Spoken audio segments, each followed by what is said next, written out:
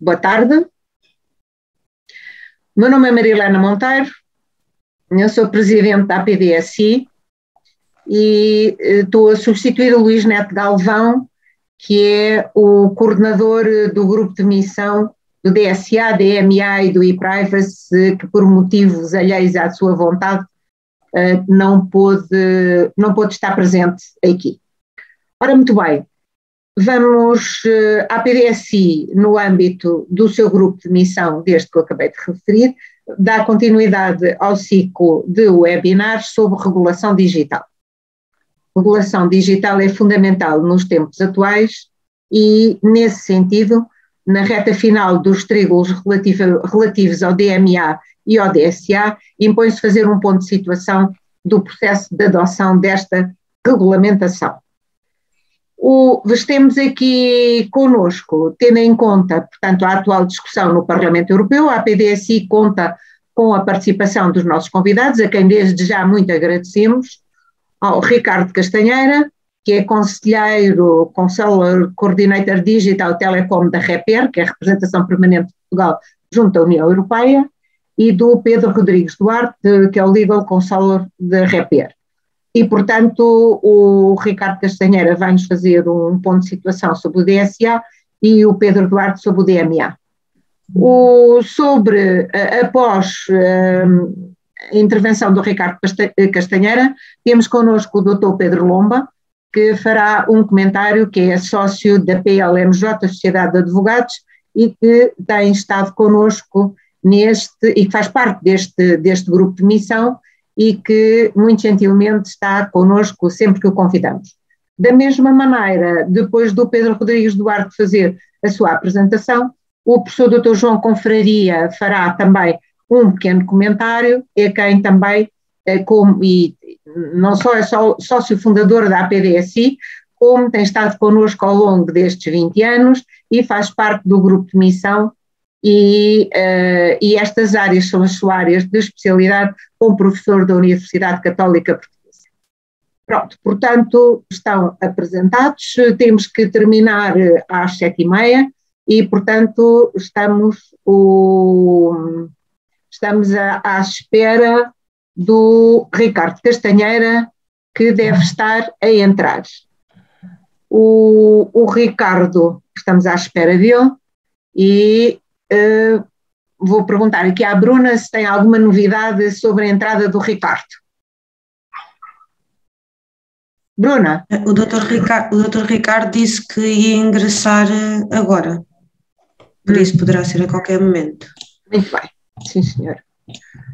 Doutor Pedro Lomba, quer, uh, quer ser alguns comentários iniciais e facilitar a vida ao Ricardo já? Fazemos assim e aproveitamos estes minutos? Eu queria só, queria só já agora dizer, dizer que, que também sou professor da Faculdade de Direito de Lisboa, uh, para além de advogado, já uma nota de apresentação. Peço um, imensa desculpa. Não, não, não, não, por amor de Deus, por amor de Deus, é só para. Não, pronto.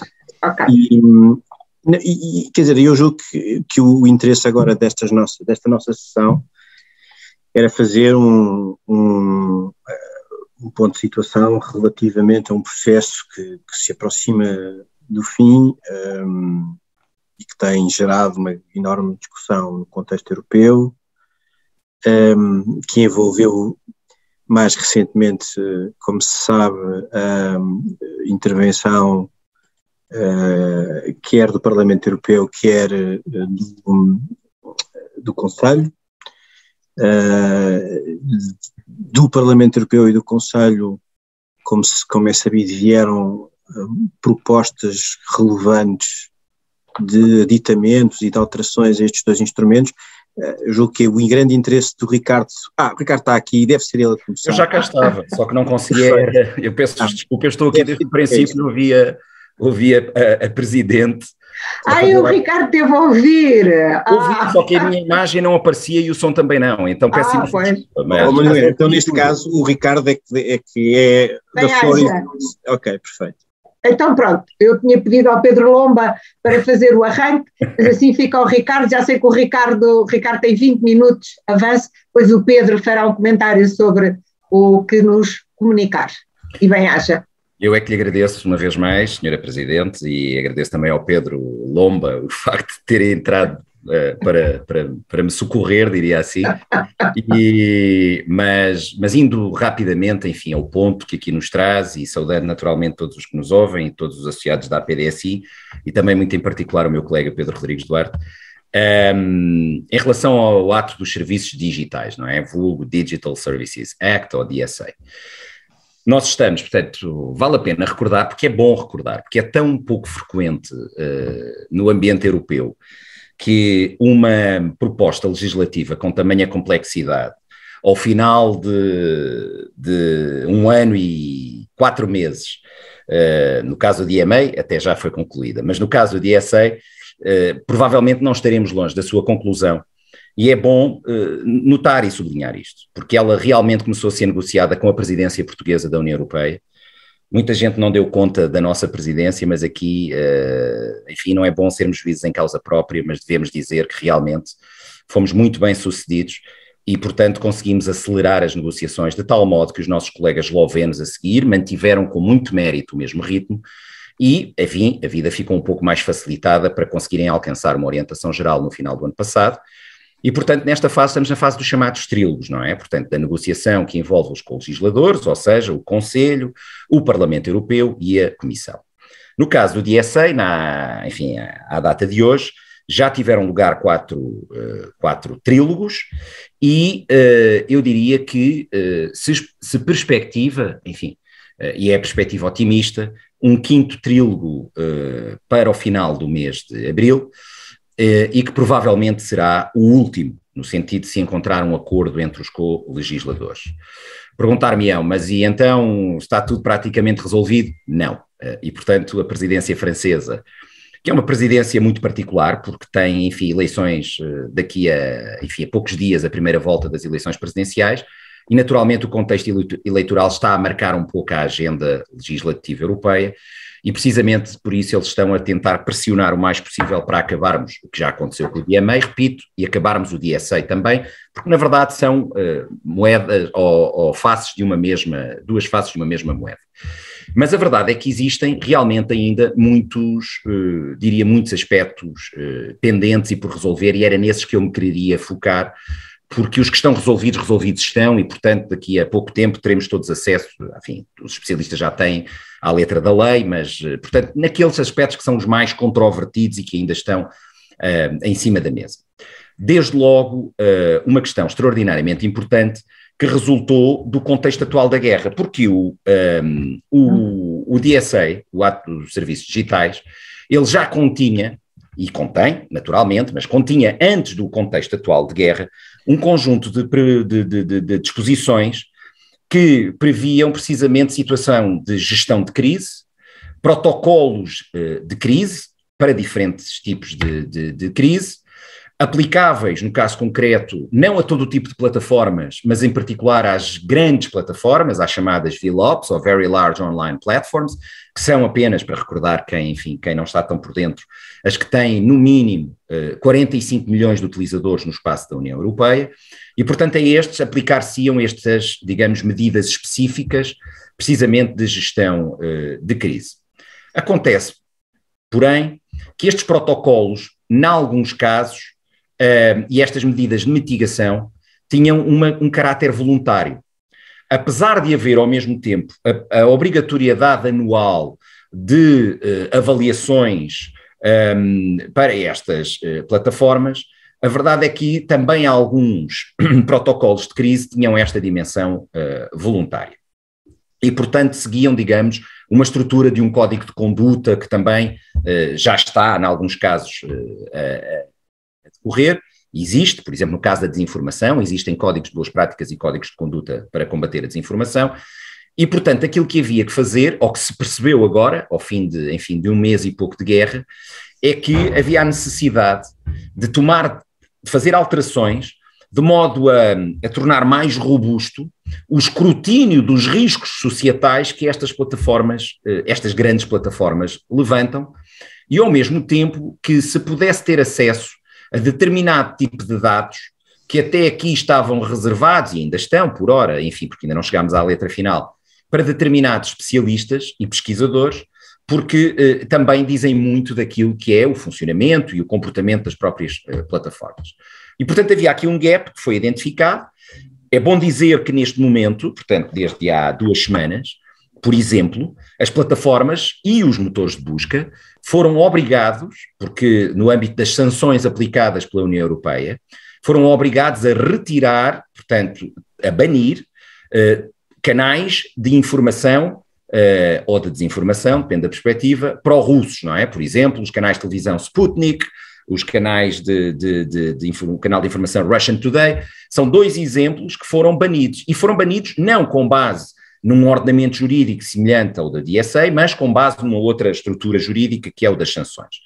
Isto mostrou-nos a importância, um, das plataformas digitais num contexto de guerra, e claramente esta é uma guerra pela primeira vez que se faz também num ambiente digital eh, e faz no sentido, digamos assim, da desinformação ou do esclarecimento, dependendo da perspectiva, e portanto o primeiro, o primeiro ator é o próprio presidente Zelensky, que nós todos os dias vimos a miúde usar os canais digitais para se comunicar e para assumir posições políticas, e aquilo que percebemos é que o DSA rapidamente estava, digamos assim, desatualizado, e por isso era preciso responder a isto. Então, este é um dos pontos que neste momento ainda temos em cima da mesa, porque ele foi colocado em cima da mesa há uma semana, há 10 dias.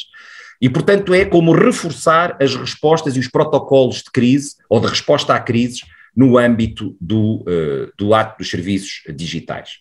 Portanto, a Comissão veio com uma proposta de um novo artigo, do chamado novo artigo 27A, que está neste momento a ser discutido ainda por nós no Conselho e, naturalmente, o co-legislador também.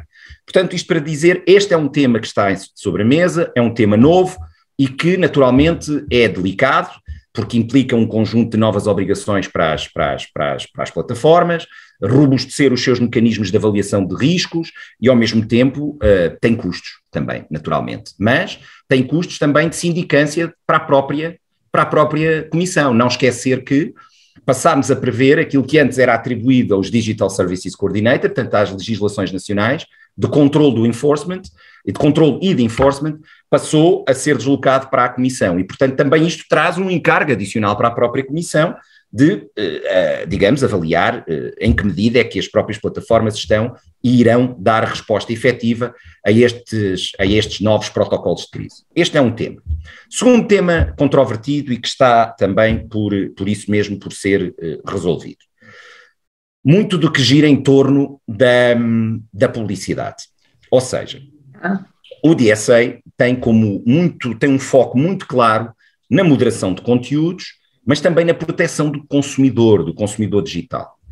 E a verdade é que eh, esta discussão em torno da publicidade esteve presente desde os primeiros, desde as primeiras reuniões, mas existe aqui, ou existem, duas posições que são, apesar de tudo, ou eram até aos trílogos, diferentes, a posição do Parlamento e a posição do Conselho.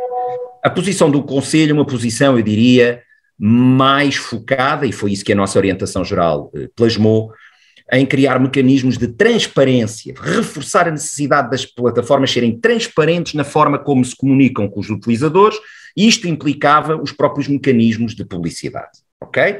Nós, utilizadores, nós consumidores, sabermos eh, precisamente se, se estamos perante uma situação em que a publicidade nos é dirigida, por quem, eh, em que medida, enfim, transparência.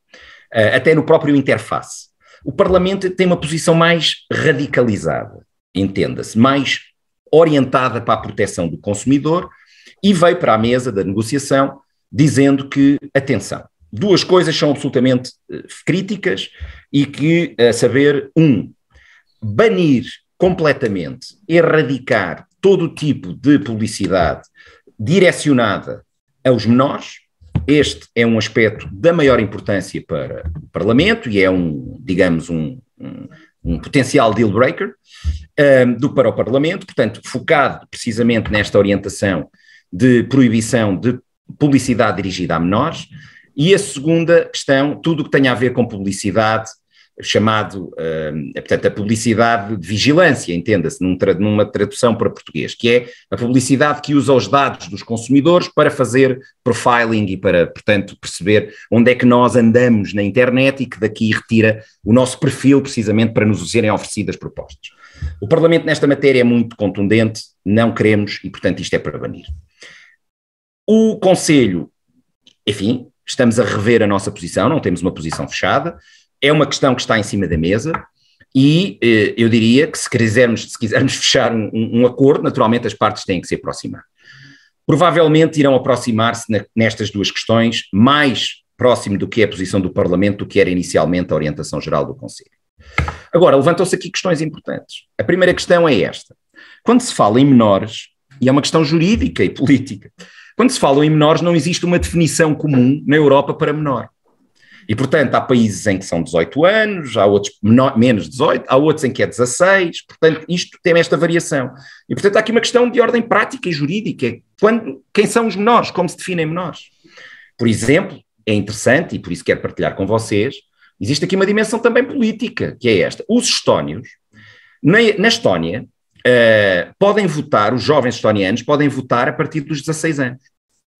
E aquilo que se levanta é, mas reparem, Nesse caso, não poderiam ser eles próprios destinatários de publicidade, que entenda-se aqui, na verdade, não é publicidade, é propaganda, natureza política, porque cairiam dentro, imagine-se, deste, deste saco. E, portanto, estariam a priori a ser, inclusive, é prejudicado determinado tipo de direitos constitucionais que têm a ver com o esclarecimento face àquilo que é o exercício posterior do direito de voto. E, portanto, temos estas questões para, para, para ainda para, para dirimir. Porém, e apesar de tudo, naturalmente, Aquilo que, que, existe e que sabemos que existe é que há legislação específica que cuida da questão da publicidade, há questões que tratam da proteção do consumidor e da publicidade no âmbito da proteção do consumidor, e o DSA, o Ato dos Serviços Digitais, é, por, pela sua natureza, um ato horizontal, não é um ato de proteção e defesa do consumidor. Aliás, o artigo 1 número 5, prevê precisamente que ele, sem prejuízo das legislações específicas, ele subsiste. De todo modo, Existe aqui uma outra questão importante quando falamos da publicidade, é que o RGPD, que está em vigor e que todos nós conhecemos muito bem, também trata destas matérias, sobretudo na questão da natureza dos dados sensíveis, da utilização de dados sensíveis para fazer precisamente uh, projetar e produzir publicidade, enfim, direcionar publicidade. E, portanto, aqui o que existe é como é que se vai evitar um overlap, não é? Portanto, aqui uma, uma sobreposição do ato dos serviços digitais com a questão do próprio um, Regulamento Geral de Proteção de Dados. Estou-vos aqui a identificar, não estou a expressar posições, não é aqui o caso, nem é a sede própria para dizer o que é que o país, o que é que o nosso país pensa sobre isto. Mas identificando, aqui está mais uma outra questão. Terceira questão, importante, portanto, já vimos situações de gestão de risco, protocolos de crise em situação emergencial, extraordinária, tudo o que gera em torno da, da publicidade. Da publicidade posso-vos dizer que também ainda não nos entendemos sobre a questão das dark patterns, portanto estamos a falar, não é, de, de situações claramente em que nós somos induzidos de forma perversa a determinados consumos através da utilização destas, uh, destas dark patterns e, portanto, uh, nesta matéria uh, estamos, estamos, estamos, estamos em, em discussão. E depois, Existem outras questões mais, eu não diria mais interessantes, mas igualmente interessantes, que têm a ver, por exemplo, com a questão dos uh, motores de busca. Dirão assim, mas isso não é muito importante. É de uma enorme importância, porque os motores de busca, em primeiro lugar, o meu colega Pedro explicará que há um motor de busca no mundo que tem, que é, não, não é incumbente, nem sei o que é que a gente lhe pode chamar, porque ele tem mais de 90% de cota de mercado. E que é aquele onde a esmagadora maioria dos cidadãos no mundo, dos utilizadores, entram na net, e, portanto, a maior parte das pessoas acede a conteúdos através dos motores de busca. Ora, os motores de busca estavam fora inicialmente da proposta do DSA, entraram depois no DSA, e quando entraram no DSA, entraram pela porta, pela pior porta, eu diria, para não lhe chamar a porta do cavalo. Porquê? Entraram e foram incluídos pela presidência eslovena, é certo que a orientação geral é de todos e, portanto, a responsabilidade é nossa, mas ficaram no artigo 4 que é o artigo que trata dos serviços de caching, Ora, para não entrar em grandes tecnicalidades, e porque não é esse o efeito nem o propósito desta nossa conversa, os serviços de caching um, são serviços que nos, nos, ajudam a ir rapidamente para determinado tipo de, de sites e obter determinada informação, e, portanto, são facilitadores, mas não têm rigorosamente nada a ver na sua definição técnica nem jurídica com motores de busca. E a verdade é que ao meter as duas, as, os dois serviços no mesmo artigo, gerou-se aqui um problema, que foi este: é que os serviços de caching têm um regime de, de, responsabilidade, portanto, liability, completamente diferente dos, dos, motores de busca. E na prática, o que é que ia acontecer se mantivéssemos aquilo que está na orientação geral? Hoje em dia, para vos dar uma noção, quando há um determinado conteúdo no motor de busca que é ilegal, seja por uma violação de propriedade intelectual, seja porque é um conteúdo, imaginemos, de natureza sexual, seja porque é um discurso de ódio, enfim, a parte interessada ao notificar, a usar o sistema de Notice and Action, portanto, ao notificar o motor de busca, a esmagadora maioria dos motores de busca, mesmo o grande, o incumbente, tem tendência a retirar esse conteúdo, porque eles seguem, em regra, em regra, não havendo uma norma expressa, em termos europeus, eles estão a seguir o chamado DMCA, que são as normas americanas, e portanto eles retiram. Se nós colocássemos os motores de busca no mesmo regime, no mesmo artigo dos serviços de caching, no artigo 4 eles deixariam de estar obrigados sequer a fazer isto e não tinham motivação nenhuma para fazer. Ok?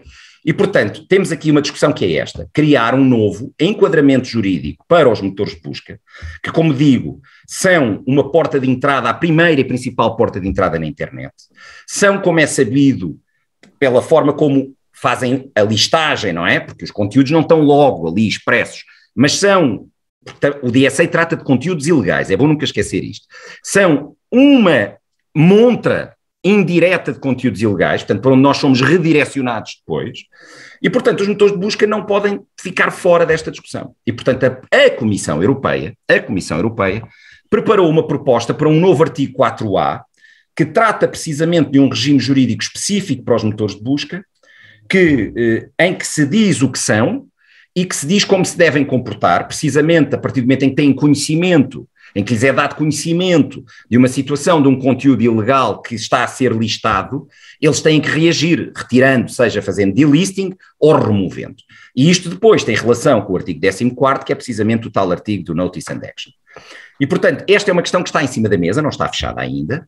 O Parlamento tratou dela de forma diferente do Conselho, porque tratou dela num considerando, e, portanto, ao tratá-lo só num considerando, como sabemos, não tem a mesma força da parte eh, operativa do, do, do, e do corpo da, da, proposta, mas já dava um sinal que o Parlamento queria vir neste sentido, nesta direção.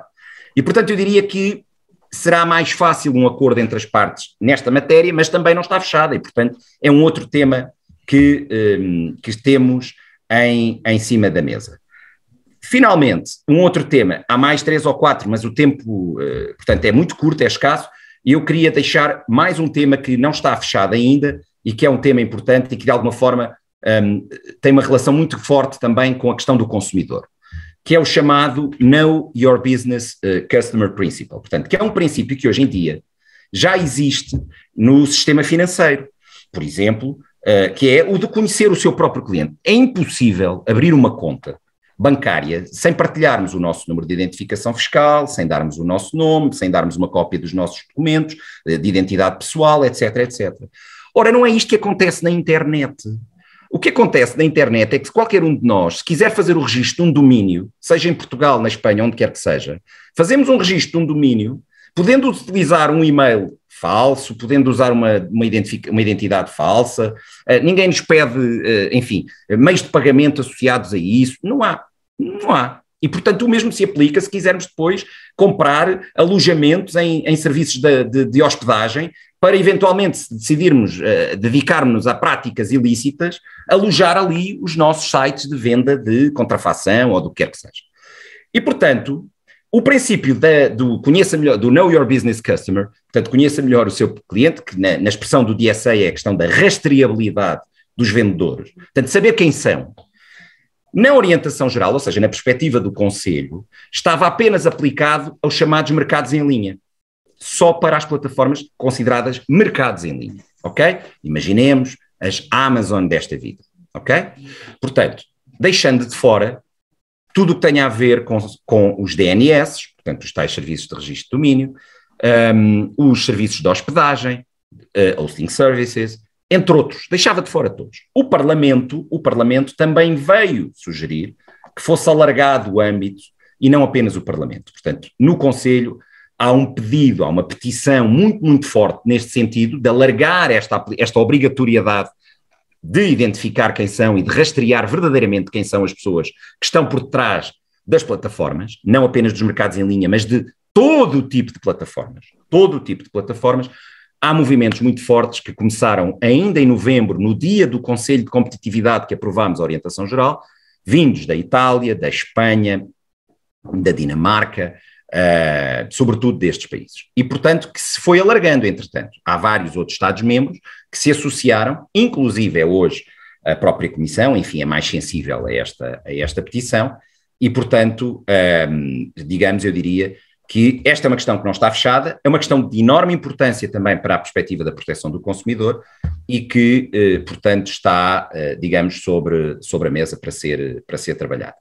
Em suma, e falta-me um minuto para os 20 minutos que me foram atribuídos, dizer que um, há uma última questão que teve grande discussão, e a seguir com certeza o Pedro falará sobre isso no DMA, e que nós aqui também estamos a ter, que é a questão de como definir os active users, ou seja, os utilizadores ativos, como é que eles são definidos. E vou terminar dando-vos um exemplo, que é um exemplo que todos nós percebemos, porque é um exemplo de uma enorme eh, simplicidade, que é este. Imaginemos, e vou usar este serviço, e vou usar este uh, serviço, enfim, não queria usar o nome de uma plataforma, mas imaginemos uma plataforma de serviços de áudio, de música, em que integra, além da música que nós, enquanto utilizadores, queremos ouvir, serviços de podcast.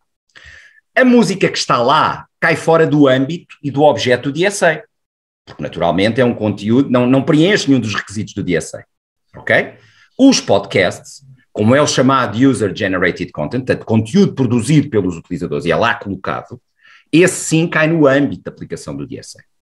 Agora imagine-se esta circunstância, com certeza já aconteceu muitas vezes com todos nós. Nós somos utilizadores desses serviços e, portanto, só ouvimos música e nunca ouvimos podcast. Por que raio é que nós havemos de ser considerados, para efeitos de essa plataforma ser considerada uma grande plataforma, uma very large online platform, porque é que nós devemos ser considerados para esse efeito como utilizadores ativos? Se na verdade naquilo que diz respeito ao escopo e ao âmbito do DSA, nós nem sequer usamos o serviço. E portanto há aqui uma delicadeza, há outras, mas eu dou-vos este exemplo porque este é o exemplo mais simples de compreensão. E portanto, até podemos, porquê? Porque ao contrário do mercado em linha, em quando nós entramos num mercado em linha aquilo que somos exposto é a imagem do produto que pretendemos comprar. Está lá a imagem do produto. Nós vemos as características do produto, nós vemos o produto. Não precisamos de o comprar para perceber o que é. É evidente que a seguir depois pode ser falso, pode ser o que for, mas está lá.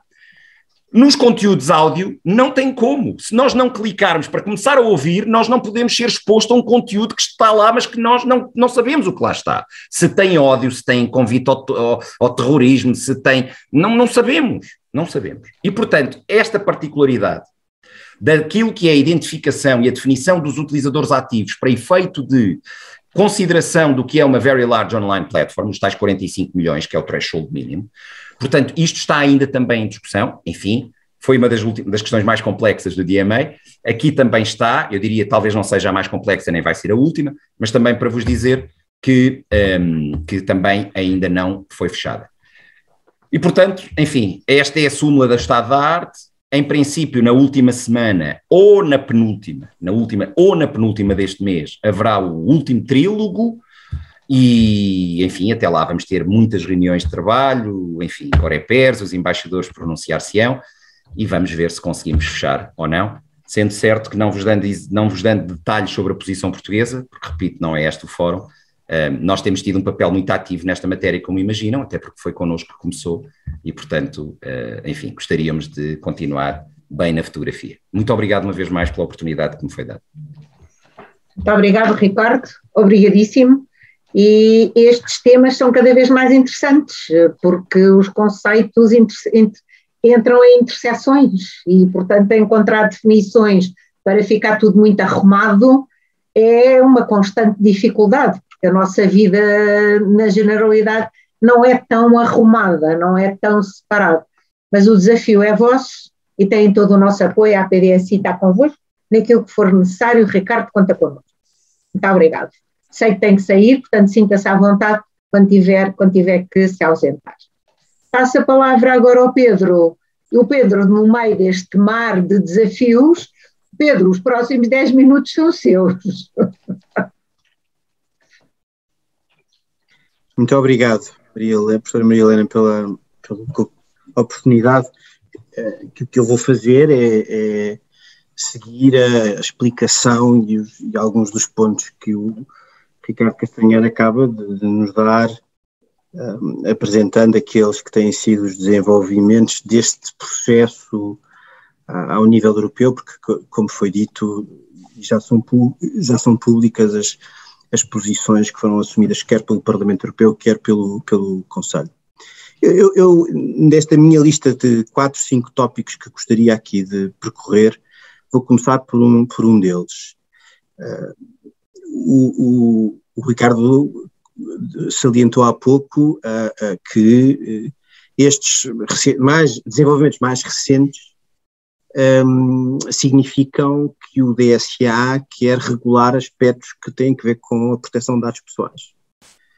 isso é visível uh, nos, nas cautelas que o, que o, Parlamento Europeu, mais do que cautelas, que o Parlamento Europeu evidenciou relativamente ao, um, ao, ao, à produção de formas de, de publicidade de, enfim, direcionada um, para menores, mas já lá vamos a isso, mas também para formas de tratamento de dados ditos sensíveis, como, como é sabido, categorias de dados sensíveis nos termos do, do RGPD. Também é verdade no que diz respeito à, à posição, no, no, que diz respeito à posição do Parlamento Europeu relativamente a esta, este, este novo artigo que uh, procura regular a forma como as plataformas obtêm o, o consentimento, consentimento de, de dados pessoais, uh, até regulando, tendo, querendo regular aspectos que têm a ver com a, com a, com a apresentação visual dos, dos, das, dos botões e dos banners que são usados para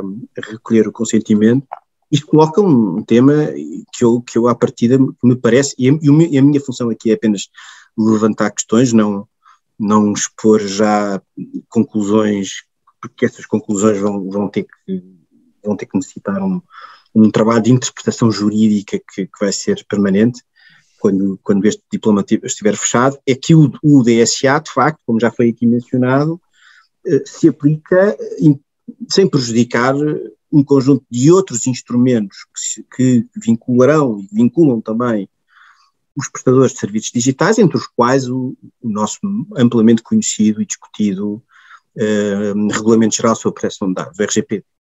E há aqui uma dúvida que, que, não, que não é exclusiva do RGPD, mas que vai aparecer relativamente ao RGPD, que é quanto mais o FSA se intromete na regulação de temas de dados pessoais, mais as dificuldades de relacionamento e de conjugação entre este regime e o regime de proteção de dados eh, eh, aparecerão. Portanto, eu, eu julgo que, que dessa, aquilo que nós juristas conhecemos da relação entre normas, normas gerais, normas especiais, e portanto desse ponto de vista o DSA apareceria aqui como uma, um enquadramento geral na verdade não, é, não será tanto assim, porque o, este enquadramento geral manifestamente está a, a, a querer, a, também a querer tratar de, de temas que envolvem uh, questões de proteção de dados pessoais. Um segundo, o segundo aspecto é, é o aspecto da publicidade, que eu acho interessante, porque não é de agora esta preocupação do que o Parlamento Europeu, há muito tempo que o Parlamento Europeu, como é sabido, tem vindo a, revelar a sua preocupação com a personalização da comunicação comercial. Isso é já há muitos anos que isso acontece, uh, considerando que essa personalização da comunicação comercial traz ou comporta riscos para, para a proteção da vida privada, eh, entre outros, uh, e em particular quando há quando há quando vem acompanhada de, de profiling, quando vem acompanhada de, do rastreamento de características pessoais, há posições públicas sobre isso. Um, o Parlamento Europeu agora quer proibir a publicidade direcionada, dita targeted advertising, uh, para os menores. levanta aqui, há aqui dois aspectos que me parecem importantes, se, ou duas dúvidas que me parecem importantes. Em primeiro lugar, não existe no direito europeu uma proibição da publicidade dirigida a menores, como é sabido.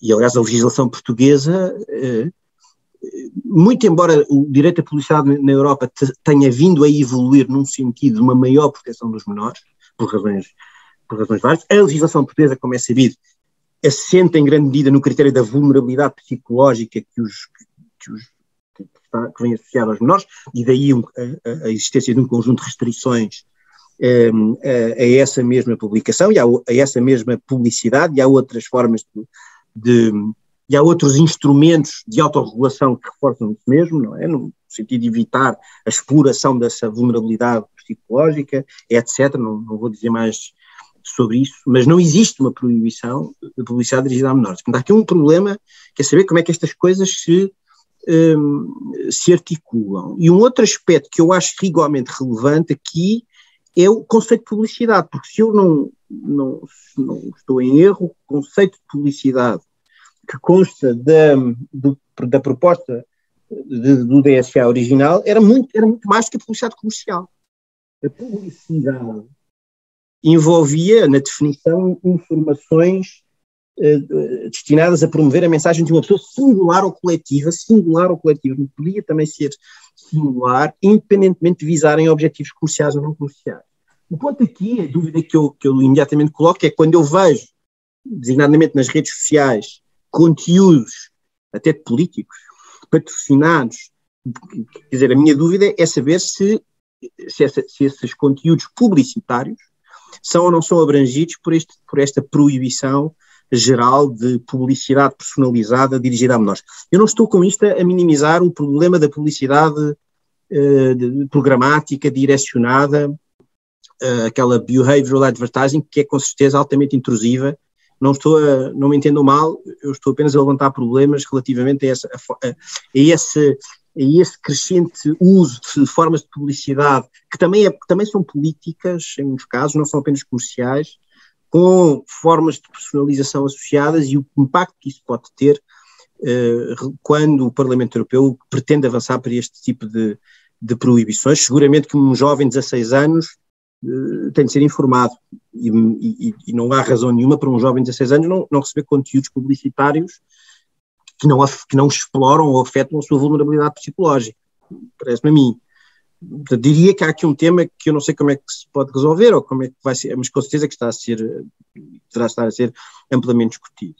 Um outro aspecto, o terceiro aspecto que eu gostaria de salientar é este aspecto, este reforço do dever de diligência relativamente a plataformas, às plataformas para identificar eh, comerciantes ou traders, é, que que oferecem produtos ilegais e produtos e serviços ou produtos ilegais que eu também vejo na posição assumida pelo, pelo Parlamento Europeu. E, e aqui há a mesma, a mesma, o mesmo paradoxo que eu há pouco referi, é porque nós sabemos, podemos discutir se é verdadeiramente assim, mas sabemos que o direito europeu, e não só europeu da internet, desde a diretiva do comércio eletrónico se desenvolveu na base de um princípio geral, de, de uma ausência de uma obrigação geral de vigilância. Um, sabemos isso, isso consta do artigo 15 da Diretiva do Comércio Eletrónico. Um, sabemos que a jurisprudência europeia do Tribunal de Justiça tem vindo a, a concretizar o que é que isso significa, uh, mas na verdade recentemente até naquele caso que envolveu um, um, um, cidadão, um cidadão, uma cidadã austríaca contra o Facebook, a Áustria, salvo erro, o Tribunal de Justiça teve a ocasião de voltar a sublinhar, no caso, e, e aí o problema era um problema que tinha que ver com o Facebook, com o dever que o Facebook teria de controlar ou vigiar conteúdos uh, eh, um, que pudessem ser difamatórios, e, e aí o, o, Tribunal de Justiça voltou a sublinhar como é que se, o artigo 15, a obrigação geral de não, de não vigilância deve ser, hum, deve ser interpretado no sentido de não criar esse e de não deixar qualquer dúvida de que se existe, sobre se existe ou não esse dever, um, aquilo que se verifica é que quanto mais e aqui também por iniciativa do, do, do Parlamento, se criam estes deveres especiais de due diligence, de verificação, de avaliação, mais nos afastamos desse princípio geral eh, herdado dos primeiros anos do, do, direito do comércio eletrónico e, e, e, que tem vindo, e que têm vindo a ser mantidos, no fundo são uma espécie de princípio fundamental, se não mesmo constitucional, do direito da, da internet. Portanto, esse é um terceiro aspecto que eu, que eu queria sublinhar. Um quarto aspecto que eu queria sublinhar é, tem exatamente que ver com os motores de busca, com os serviços de busca. Uma das perguntas iniciais que eu fiz na primeira apresentação que o Ricardo Castanheira fez aqui foi, foi justamente sobre a questão conceptual, a questão da categorização. Sempre me pareceu que a questão da categorização não estava fechada. E a prova disso mesmo é que esta posição, que eu suponho que vem do Conselho relativamente aos, ao estatuto dos motores dos serviços de busca, um, prova isso mesmo, porque, porque um, entendeu-se que os, que os serviços de busca têm que estar abrangidos pelo DSA, porque eh, não estariam abrangidos pelo, pelo, pelo DSA. Está aqui um primeiro aspecto que é saber como é que os serviços de busca eh, estão ou devem, ou devem ser categorizados. Recordo que naquele regulamento, do, o famoso regulamento Platform to Business, esse regulamento de 2019, há, esse regulamento se aplica claramente, como é sabido, aos uh, serviços de busca e eles estão ali. Portanto, se estão ali, também não faria sentido que, tendo eles a importância que têm, que não estivessem aqui, aliás, tendo eles a importância que têm na evolução do direito à internet. Recordo o caso uh, Google contra Louis Vuitton, que é um caso paradigmático também sobre o que é que é uma plataforma ativa ou neutra, e também para, para perceber eh, de que, de que, o sentido do artigo 14 do, da, da, da, Diretiva do Comércio Eletrónico, como é que ele deve ser interpretado. Bom, há aqui uma questão que, que, estava em, que, está à nossa frente e que vai estar à nossa frente durante algum tempo. E, por outro lado, também vai estar à nossa frente há algum tempo, que esta questão que o Ricardo tão bem levantou, que é a questão de saber se estes serviços de busca devem estar sujeitos às mesmas, a, a obrigações similares às obrigações que são aplicáveis aos serviços, de, aos ditos serviços de caching, é? os ditos serviços de armazenagem temporária que, que, e, às, e, há, e regra de isenção de responsabilidade que está no artigo, atualmente no artigo, no artigo 4 não é? Do, da proposta, mas que também está no, na, na, na, atual diretiva de comércio eletrónico, um, ou não, ou se devem ter um estatutos diferentes.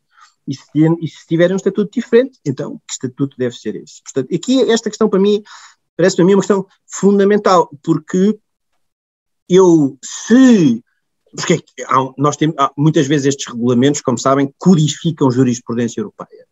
Hum, é. E se há um, e se há, eu sei eu vou terminar, Maria Helena, e se há uma, jurisprudência, e se há uma jurisprudência europeia sobre, sobre estas matérias, sobre o, o, a, a, a, maior neutralidade ou atividade ou estatuto ativo de prestadores de serviços digitais de plataformas relativamente aos conteúdos que que armazenam relativamente aos conteúdos que, que disponibilizam, é vai ser interessante perceber até que, até que ponto é que a nova e final regulação será apenas a, a, a, codificação legislativa dessa solução que foi assumida no, no, no, em casos como o Google contra a, contra a Louis Vuitton ou no famoso caso do eBay contra a L'Oréal, ou se vamos ter aqui, digamos, uma nova solução que vai naturalmente ser, provocar um, uma, mais, mais discussões e naturalmente depois vamos, ter, vamos reagir do ponto de vista jurídico e do ponto de vista doutrinário àquilo que, que acabar por ser, por ser uh, estabelecido. A última nota que eu tenho aqui é, é, é, o tema da, é o tema da liberdade de expressão, porque o tema da liberdade de expressão está no centro disto. Não, é, não, não está no, está em, esteve, sempre no centro disto, mas agora ainda mais, por força do, da função de moderação de conteúdos que o DSA acolhe, por força da noção de conteúdos que o DSA acolhe, portanto, todas estas realidades hum, estão no centro, portanto, a liberdade de expressão está no centro e a proteção da liberdade de expressão está no centro daquilo que vai ser o DSA, e, e eu diria o seguinte: uh, nós temos no DSA, se, eu fiz bem a minha pesquisa, uma única referência à liberdade de expressão, no considerando 22. Mas uma referência à liberdade de expressão em matéria de remoção ou bloqueio de conteúdos, quer dizer, no fundo, para o considerando 22 esclarece para efeitos da aplicação ou do benefício da liability exemption, o, o prestador de serviços digitais deve Uh, uh, deve, no momento em que tenha sido alertado, não é? No momento em que tomar conhecimento ou que tenha sido alertado, tenha sido notificado, deve proceder com, com diligência no, no, sentido de remover os conteúdos ou bloquear o acesso a esses mesmos conteúdos, e isso corre, repito, mais uma. E a única coisa que é dita é que esta remoção ou bloqueio deve, deve, deve ser efetuada respeitando o princípio da liberdade de expressão. Recordo que no RGPD, por exemplo, as questões relacionadas com a relação entre liberdade de tratamento de dados e, e liberdade de expressão e de informação, eu não estou a dizer que estão fechadas, que não estão, nada está fechado, mas, mas há uma primeira ponderação que o legislador europeu ali faz. O legislador europeu faz ali uma primeira ponderação, em abstrato, não dispensa depois as ponderações em concreto que, nas, nas, de, de, acordo ou perante as circunstâncias de cada conflito e de cada, e de cada caso concreto, possam, possam aparecer. Aqui isso não existe. Eh, eh, verdadeiramente, isto é, não existe nenhuma ponderação relativamente, podia existir, por exemplo, se o conceito de conteúdos eh, adotado utilizasse, como chegou a ser pensado, eu eu não estou a dizer que isso era bom ou mau, mas chegou a ser pensado que em usar o conceito de harmful para conceito de conteúdo lesivo, não é? Para, digamos, ir além do que na definição do que é que são do que é que são conteúdos, conteúdos digamos sujeitos a obrigações de remoção. Mas isso lá está, foi entendido que isso era uma uma área sensível porque poderia ter implicações na na liberdade na, na conjugação com a liberdade de expressão. E aqui uh, nós não temos mais nada, não temos nenhuma ponderação. Isso é bom ou é mau? Uh, o legislador europeu devia ir um pouco mais à frente ou, devia, ou menos? Ou, não, ou verdadeiramente vai, tem, está a ir mais à frente, sobretudo no, no que diz respeito ao combate à desinformação, ou não. Eu não tenho certezas sobre isto, nem posições sobre isto, porventura até será uma boa ideia não dizer mais do que isto que o Considerando 22 diz, mas o que, o que os próximos anos, quando este documento estiver fechado, vão ser anos em que nós vamos discutir grandemente no contexto europeu o que é que entendemos por liberdade de expressão, o que é que entendemos pela liberdade de informação, o que é que nós queremos proteger, quem é que nós queremos proteger e como é que nós queremos proteger e como é que nós olhamos, por exemplo, para estes, os mecanismos que as grandes plataformas estão a adotar de uh, controle privado, feito através de mecanismos privados de, de, dos seus conteúdos, das suas, da sua, do seu discurso, da liberdade de expressão que flui por essas plataformas, isso, qual é que, isso é bom ou é mau, a emergência desses desses mecanismos do Oversight Board do Facebook ou de outros que podem aparecer. Eu julgo que esta vai ser uma das grandes questões do futuro da internet e do futuro do direito das plataformas. Muito obrigado pela vossa atenção às, a estas apenas notas que eu queria aqui deixar. Pedro, muito obrigado. Agradeço a sua intervenção. Eu, eh, a PDSI eh, está muito ligada à sociedade da informação. E, portanto, todos estes temas são intrínsecos à natureza da nossa missão, que é promover e desenvolver a sociedade da informação. A regulação digital está no âmbito destas, destes regulamentos aqui. E a regulação digital vai ser objeto de várias iniciativas durante este ano pela APDSI e, portanto, todos os nossos convidados já fazem parte do cenário que vai ser desenvolvido durante o ano e nos próximos anos, porque, segundo me é dado perceber, isto é apenas o princípio de uma nova era, novos conceitos e novas aplicações. E, portanto, queria lhe agradecer uma vez mais a clareza de toda esta dimensão de definições, conflitos, interseções que vão estar na, na base da ação, porque depois nos dias, nos dias, no dia a dia vão surgir casos que os juristas, os legisladores vão ter que se confrontar e vão ter que é mais jurisprudência e, portanto, vão acumular nova jurisprudência e isso vai dar novos resultados. Portanto, Bem-aja, muito obrigado uh, por este momento. Há aqui uma série de questões uh, que estão a ser colocadas, não vamos ter tempo um, para as responder agora, mas vamos, uh, vamos listar estas questões e vamos dirigi-las para o grupo de missão, que encarará como desafios para responder com certeza. E, portanto, isto peço desculpa, mas não vou conseguir fazer estas, por estas questões aos nossos convidados, mas irão ter uma resposta certamente. Passaria neste momento a palavra ao nosso uh, convidado, segundo convidado da REPER, portanto, o Pedro Rodrigues Duarte, que nos vai fazer mergulhar numa outra dimensão, que é, já não é o DSA, mas é o DMA. E o DMA já está aprovado, não é? Portanto, o regulamento já está aprovado, salvo algum erro que eu esteja a cometer. Eu não sou o Luís Neto Galvão, uma vez mais peço desculpa por ele não estar presente.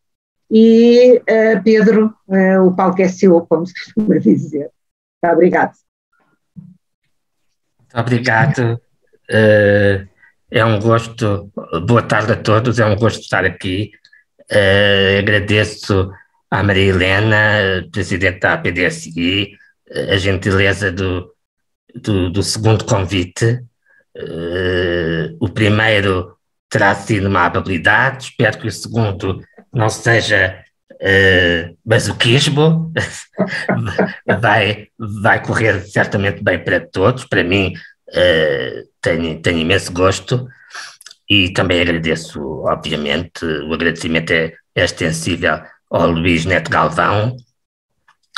E não se preocupe, Maria Helena, até para, por questões de género é muito importante que aqui esteja, não só por, não só pela, por inerência da, da presidência, uh, e, e, obrigado ao, aos professores João Confraria e, e Pedro Lomba por estarem comigo.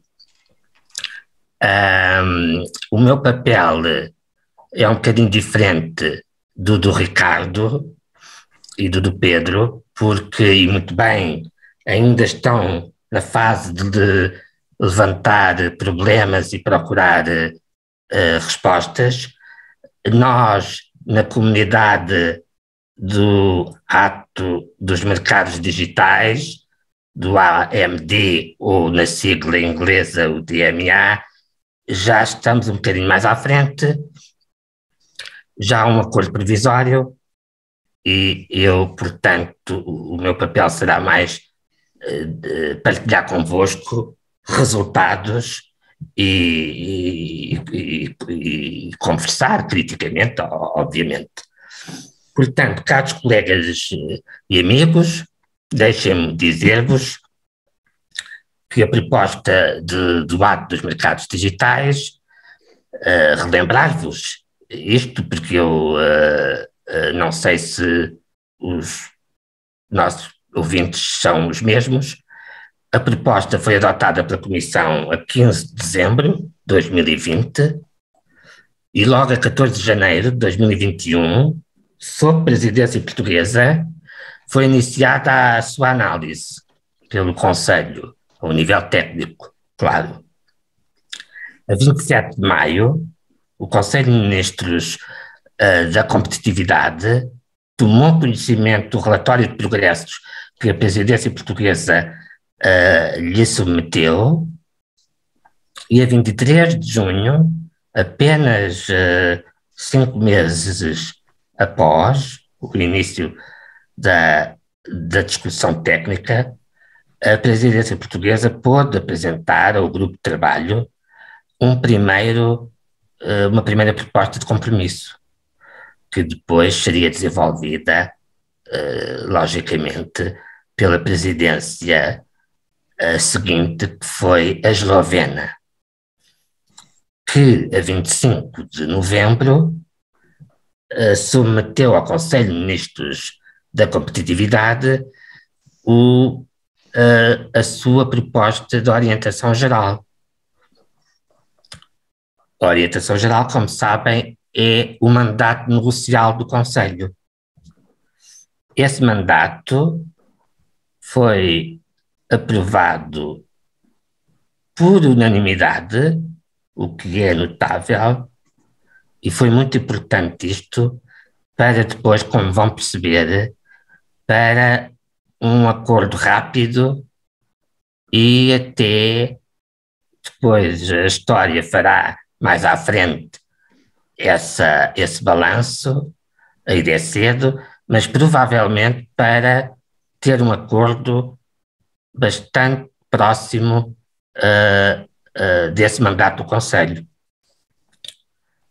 E agora, há poucos dias, a 24 de março, já foi possível, sob presidência francesa, obter um acordo interinstitucional provisório no quarto e último trílogo. O trílogo, como sabem, é, uh, a, é a reunião das, dos dois co-legisladores, o Conselho e o Parlamento, com a Comissão, a autora da proposta, e por isso se chama trílogo a essas reuniões interinstitucionais.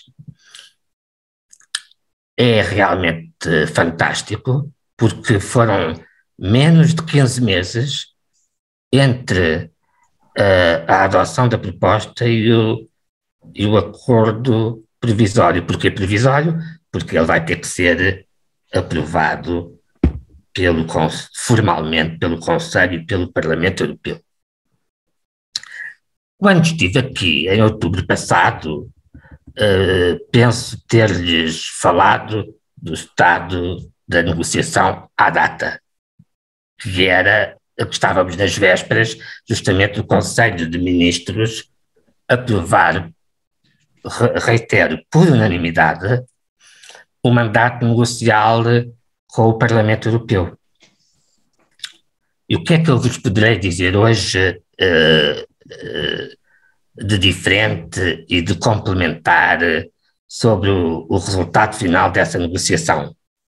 Uh, da, da, negociação de um instrumento legislativo inovador e entusiasmante.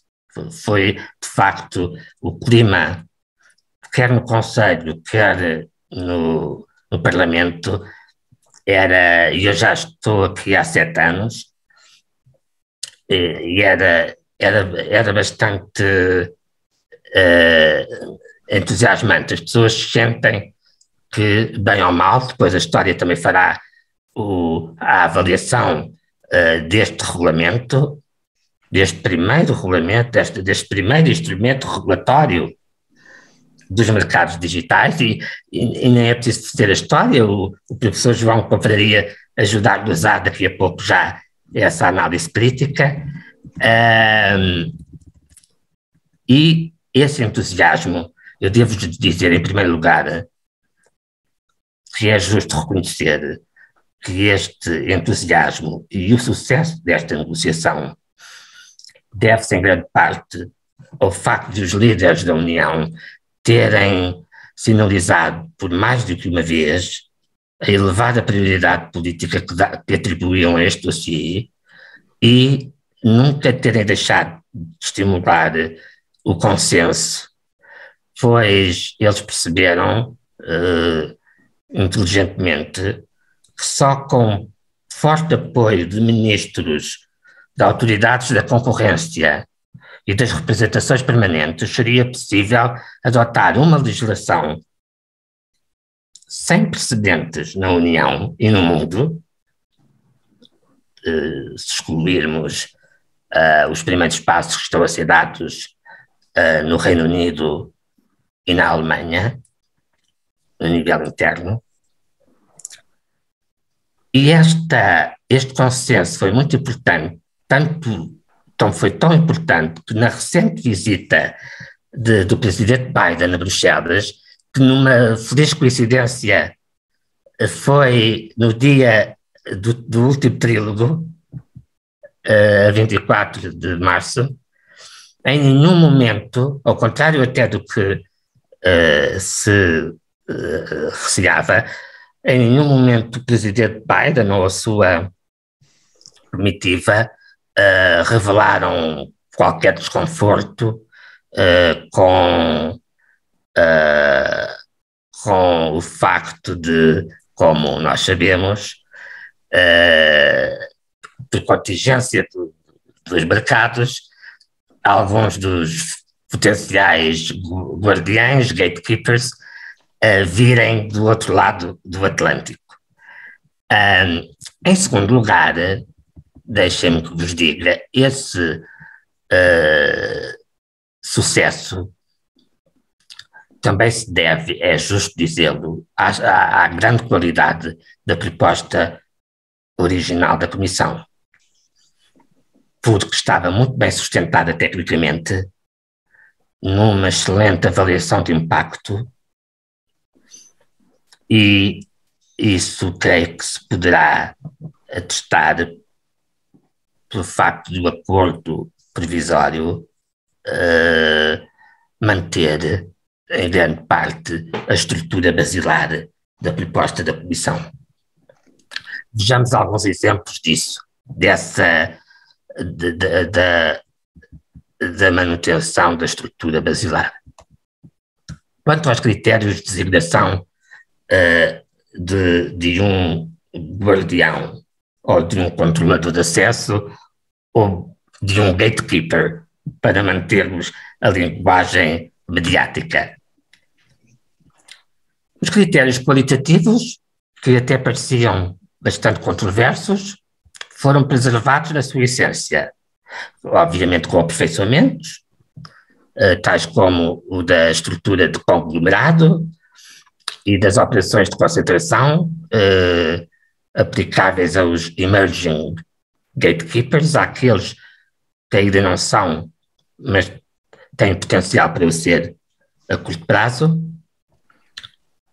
E os critérios quantitativos foram apenas atualizados uh, aos dados de mercado uh, na União Europeia mais recentes.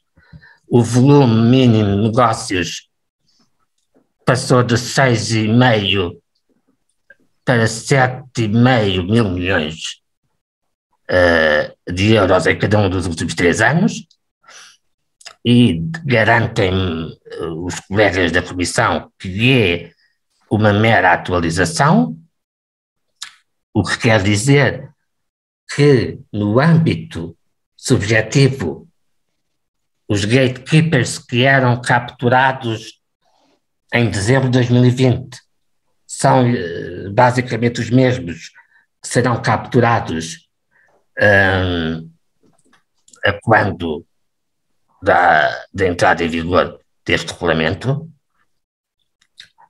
E mantiveram-se intactos, como já saberão, os uh, critérios relativos ao número mínimo de utilizadores finais mensais, que, que, são, que é um número idêntico ao do DSA, 45 milhões, e o número mínimo de utilizadores profissionais, que são uh, eh, 10 mil.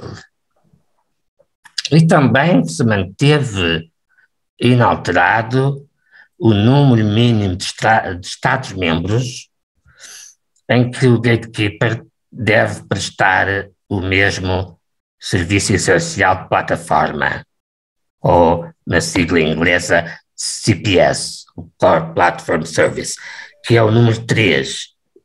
Para ser designado gatekeeper, ele deve prestar um desses serviços em três Estados-membros.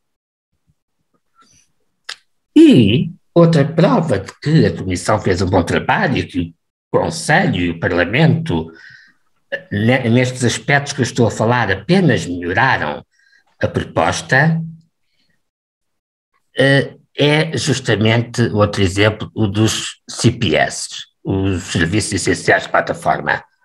A lista agora final afastou-se pouco da lista original, tendo por acordo o Conselho e o Parlamento uh, acrescentado apenas os, os web browsers e os serviços de voice assistant. Uh, o Parlamento, também já deverão saber isso, queria acrescentar um terceiro, a Smart TV, uh, mas não terá ficado no acordo final. E foram aperfeiçoados, foram acrescentados estes dois serviços e foram aperfeiçoados, foi aperfeiçoada a definição de afinada a definição de publicidade em linha, de pagamentos in-app e de ranking.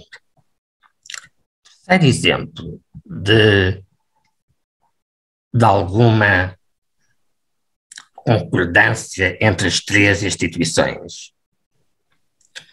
A famosa lista de obrigações e proibições que se estende pelos artigos 5 e 6 do regulamento, o Conselho e a Comissão, eh, perdão, o Conselho e o Parlamento Europeu mantiveram o racional da lista proposta pela Comissão. Tendo os legisladores concordado em acrescentar ou reforçar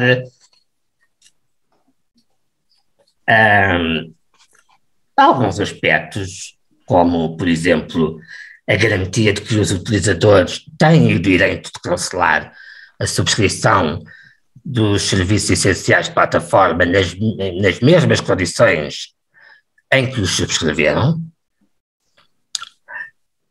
A, a famosa interoperabilidade foi mediaticamente muito acompanhada, uh, ficou prevista para as funcionalidades básicas do serviço de mensagens instantâneas utilizado pelo gatekeeper em causa, a garantia de que o utilizador pode eliminar software pré-instalado uh, pelo sistema operativo, por exemplo, o, o web browser, a prestação, a obrigação de prestação de informações à Comissão Europeia sobre operações de concentração em que o gatekeeper esteja envolvido, seja por aquisição, seja por fusão, a garantia de acesso dos, dos developers de software uh, às funcionalidades suplementares dos smartphones, portanto, eles têm direito de acesso. Estamos a falar, por exemplo, de, do chip NFC, o, o chip que garante, garante uh, o, aquela em inglês, o Near um, Field Communication, portanto, a, a comunicação entre dois aparelhos uh, por proximidade e também a garantia de acesso dos vendedores aos dados do desempenho publicitário e de marketing uh, da plataforma em causa. A proibição de, do self-preferencing, dos produtos próprios e dos serviços próprios do, do gatekeeper, ou seja, fica proibido que o gatekeeper, que, que o gatekeeper classifique os seus produtos e serviços acima uh, dos outros, ou também a proibição de, da reutilização de dados privados recolhidos num, uh, na prestação de um serviço de plataforma para fins de outro serviço de plataforma, porque, como sabemos, o mesmo gatekeeper pode, e é o caso muitas vezes, prestar vários serviços essenciais de plataforma. E, finalmente, o último exemplo uh, de, de alguma de algum aperfeiçoamento que o Conselho e o Parlamento fizeram à lista original de obrigações e proibições, a, a obrigação de aplicar condições justas e não discriminatórias ao acesso dos utilizadores profissionais à App Store, às redes sociais e ao motor de busca do Gatekeeper. Em terceiro lugar, o, o sucesso deste processo legislativo, a meu ver, deve-se à convicção que também havia uh, entre os três, entre as três instituições, de que a União estava muito atrasada nesta, neste campo regulatório. O relator do Parlamento Europeu, o relator da proposta, o alemão Andreas Schwab, calculou o atraso em pelo menos 10 anos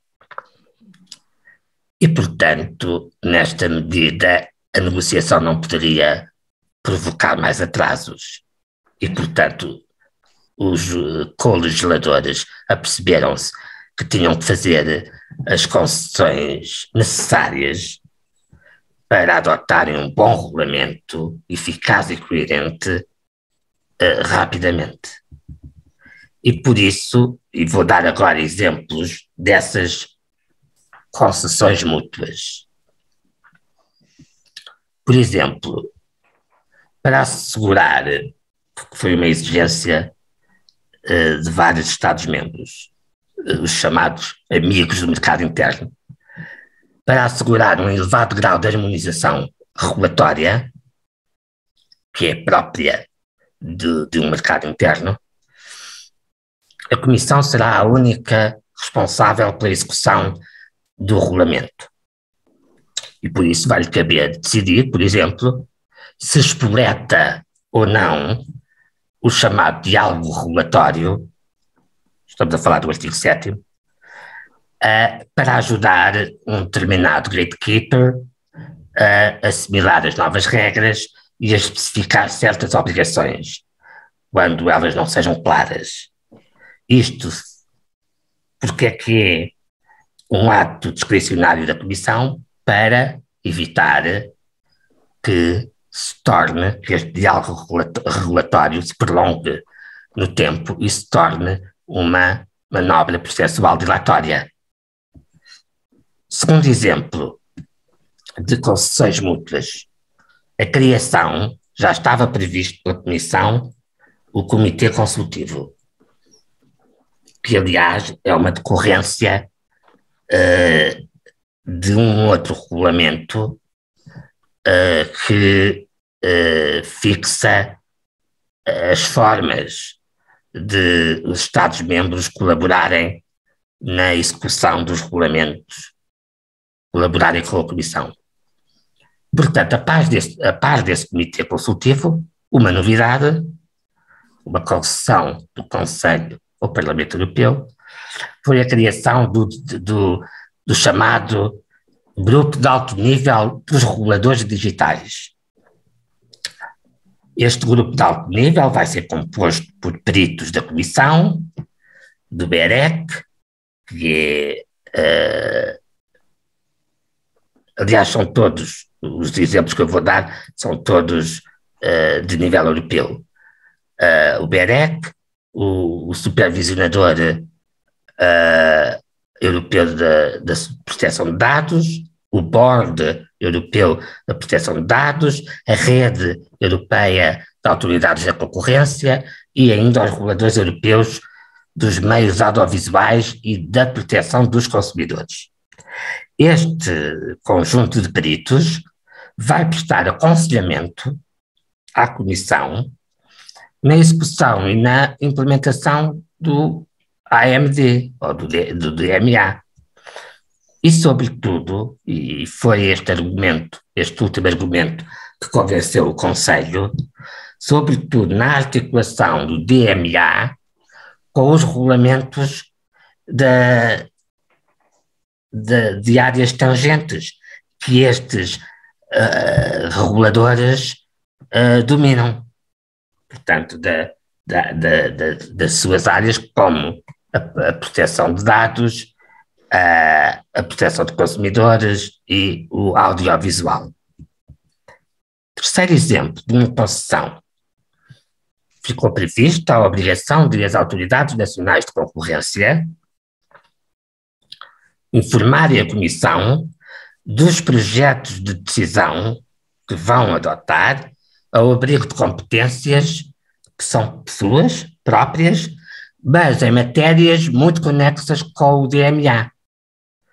mas, e aqui não houve concessão do Conselho, mas sem direito de veto da Comissão. A Comissão não pode vetar estes projetos. Pode tentar, com a sua, com o seu magistério de influência, com a sua capacidade técnica e desmentível, pode dialogar, mas não pode exercer direito de veto sobre esses projetos de decisão das autoridades nacionais de concorrência.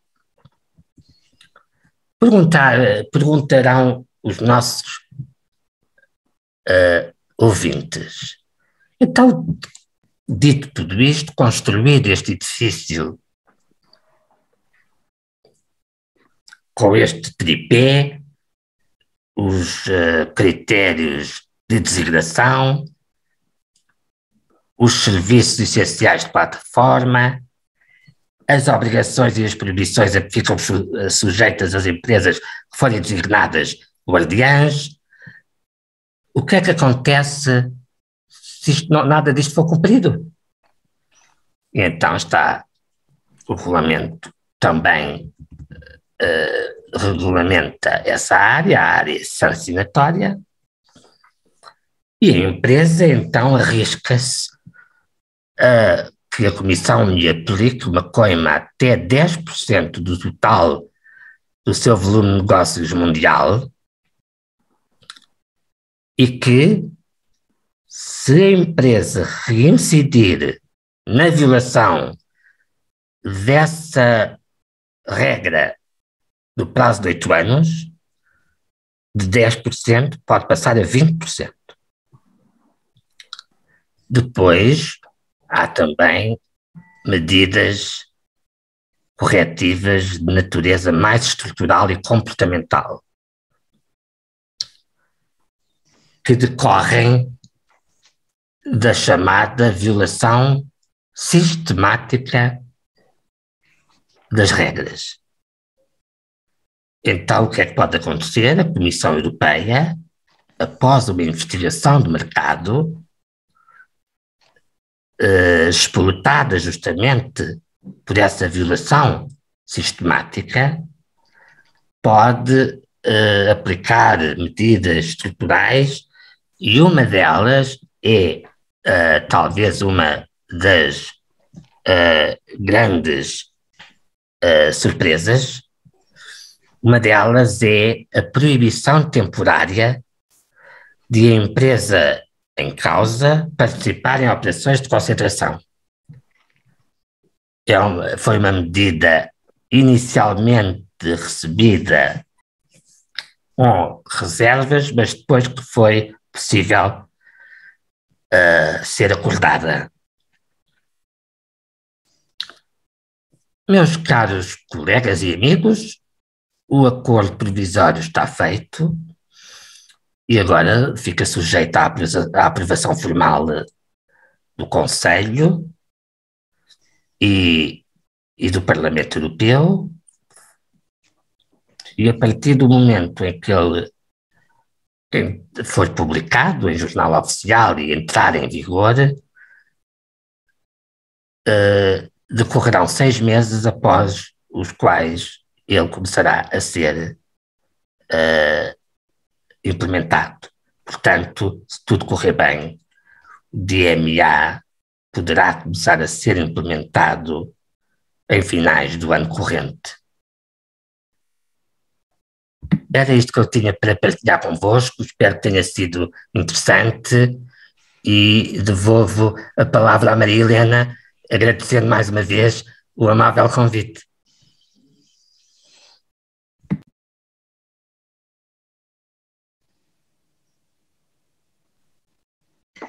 Estava aqui a referir que é sempre muito interessante ouvi-lo, porque por trás das suas palavras há uma dimensão de conhecimento, de complexidade.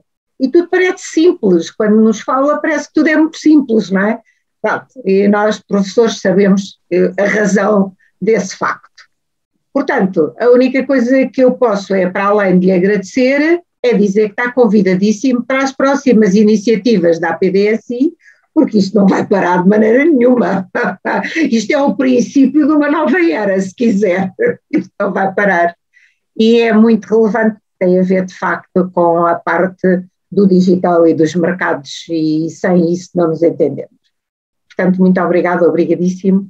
O, pode contar connosco para também aquilo que desejar na sua atividade do dia a dia, porque assim, uh, assim faremos o, cumpriremos a nossa missão no fim. Vou agora passar a palavra ao professor João Confraria, que uh, tem que ensinar aos alunos estas coisas, não é? E, portanto, eu acho que é fantástico o desafio que o professor tem hum, de fazer com que os seus alunos se torne muito claro para eles toda esta complexidade. E, portanto, isto é a complexidade de, do, do, digital nos tempos atuais e isto é apenas o princípio dos princípios. Muito bem, professor, a palavra é sua e muito obrigado. Uh, muito obrigado, muito obrigado pelo convite para estar aqui a partilhar algumas ideias que, depois da apresentação do Dr. Pedro Duarte, uh, não tenho muito a acrescentar. Eu faria só uma, uma síntese de alguns comentários que, na sequência da, da publicação dos, das versões preliminares dos dois diplomas, em particular do DNA, uh, houve alguma literatura, nomeadamente literatura económica, que foi produzida, uh, e com alguns comentários críticos sobre, alguma delas, aliás, em, em, literatura encomendada pela Comissão também, uh, e houve alguns comentários que foram feitos de sugestão de alterações eh, que para um economista poderiam fazer sentido. Eu não estou certo de que da intervenção do Dr. Pedro Duarte possa se possa concluir que foram todas aceites. Na medida que foram algumas sugestões aceites, não é evidente que tenham sido todas aceites e, portanto, eu vou só referir alguns temas entre aqueles que me parecem, porventura, um pouco mais intuitivos e que têm sido citados na literatura, uh, em áreas onde pelo menos do ponto de vista económico, podia fazer algum sentido densificar. Uh, não eram grandes alterações, tratava-se sobretudo, tanto quanto eu de, julgo que os juristas chamam isto, uma densificação uh, dos conceitos que estão presentes na, uh, no diploma. o primeiro aspecto a considerar era bastante intuitivo. nós, com este DMA, estamos a transferir uma vasta área da regulação da disciplina da, ou melhor, estamos a sobrepor uma, uma, uma vasta área de atividades que até agora estavam sujeitas somente à legislação da concorrência e estamos-lhe a pôr em cima um conjunto forte de regulações ex ante. Eh, normalmente, quando se faz uma regulação ex ante, há uma identificação eh, prévia, cuidada, da falha de mercado que se pretende corrigir uh, e do problema que se pretende resolver. Uh, isto para evitar que com essa regulação, ou melhor, para garantir que as medidas que são previstas uh, são adequadas ao problema que se visa resolver e, portanto, evitar, por essa via, empresas que não têm nada a ver com o assunto acabem por uh, ser prejudicadas com, com a regulação. Uh, no caso deste, deste diploma, um dos temas em que, uma, uma das áreas onde este problema aparecia designava, eh, relacionava-se com os indicadores eh, que são utilizados ou que podem ser utilizados para refutar uma designação, uma presunção de gatekeeper. Uh, e aqui havia o risco de se estarem a considerar como gatekeepers empresas que podem satisfazer os critérios quantitativos e qualitativos que lá estão, mas cuja atividade não é suscetível de criar os problemas que este diploma vinha resolver. Uh, e uma área onde parecia haver alguma, uh, algum consenso uh, era a de que os gatekeepers, em que, ou melhor, as plataformas, eventualmente pudessem ser consideradas gatekeepers de acordo com os critérios quantitativos e qualitativos, mas que enfrentassem em qualquer um dos lados em que atuavam concorrência de plataformas multi-homing, ou seja, se em qualquer um dos lados onde estas plataformas designáveis como gatekeeper, um, se em qualquer um desses lados houvesse situações de multi-homing, isso seria uma condição suficiente para que essa plataforma não fosse considerada como gatekeeper, dado que, numa situação de multi-homing, poderia presumir que estavam salvaguardadas as uh, possibilidades de escolha dos utilizadores. Uh, no mesmo sentido de facilitar, uh, de promover, de garantir alguma certeza jurídica e de, e de evitar, evitar a acumulação de risco regulativo nesta área, houve também quem sugerisse que a Comissão publicasse uma lista uh, dos serviços comerciais que são cobertos por um prestador de serviços essenciais que seja também designado como gatekeeper. Uh, eu de, deduzi da intervenção do Dr. Pedro Barte que a Comissão não, não avançou uh, nesta matéria tanto como, por vezes, uh, seria sugerido por alguns papers, incluindo alguns papers sugeridos, encomendados pela própria Comissão. um segundo aspecto relaciona-se com os objetivos do DMA. Uh, os objetivos do DMA estão relacionados com contestabilidade, com a fairness, uh, eu não sei como é que se há de traduzir o fairness, neste caso, uh, porque, e, e, com a promoção do mercado único. Na promoção do mercado único, toda a gente percebe, fico, até fiquei admirado agora com essa, com essa cedência da Comissão que abdica do direito de veto numa situação onde eu uh, diria que se calhar não era de abdicar, porque corre-se o risco de ter autoridades da concorrência a resolver coisas de forma que possa vir a criar barreiras ao mercado único. Mas, enfim, em princípio, de, isso não há de acontecer. Fiquei admirado da Comissão abdicar desse direito de veto, mas entende-se. Mas, uh, e portanto, admitindo que toda a gente sabe o que é que se pretende quando se, quando se diz que se quer promover o mercado único, não é evidente que toda a gente saiba também o que é que se pretende quando se, quando se diz que se quer promover a contestabilidade e a fairness.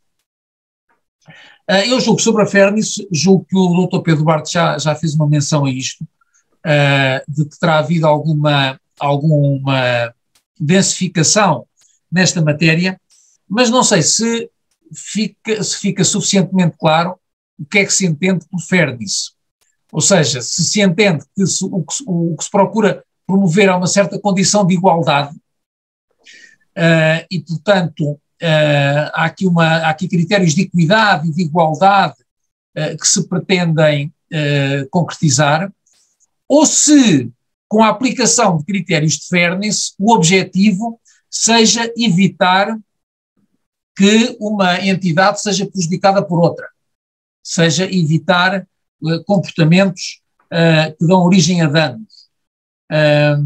E julgo que esta, que esta ambiguidade uh, do conceito de fairness estava, estava um bocadinho presente na versão original.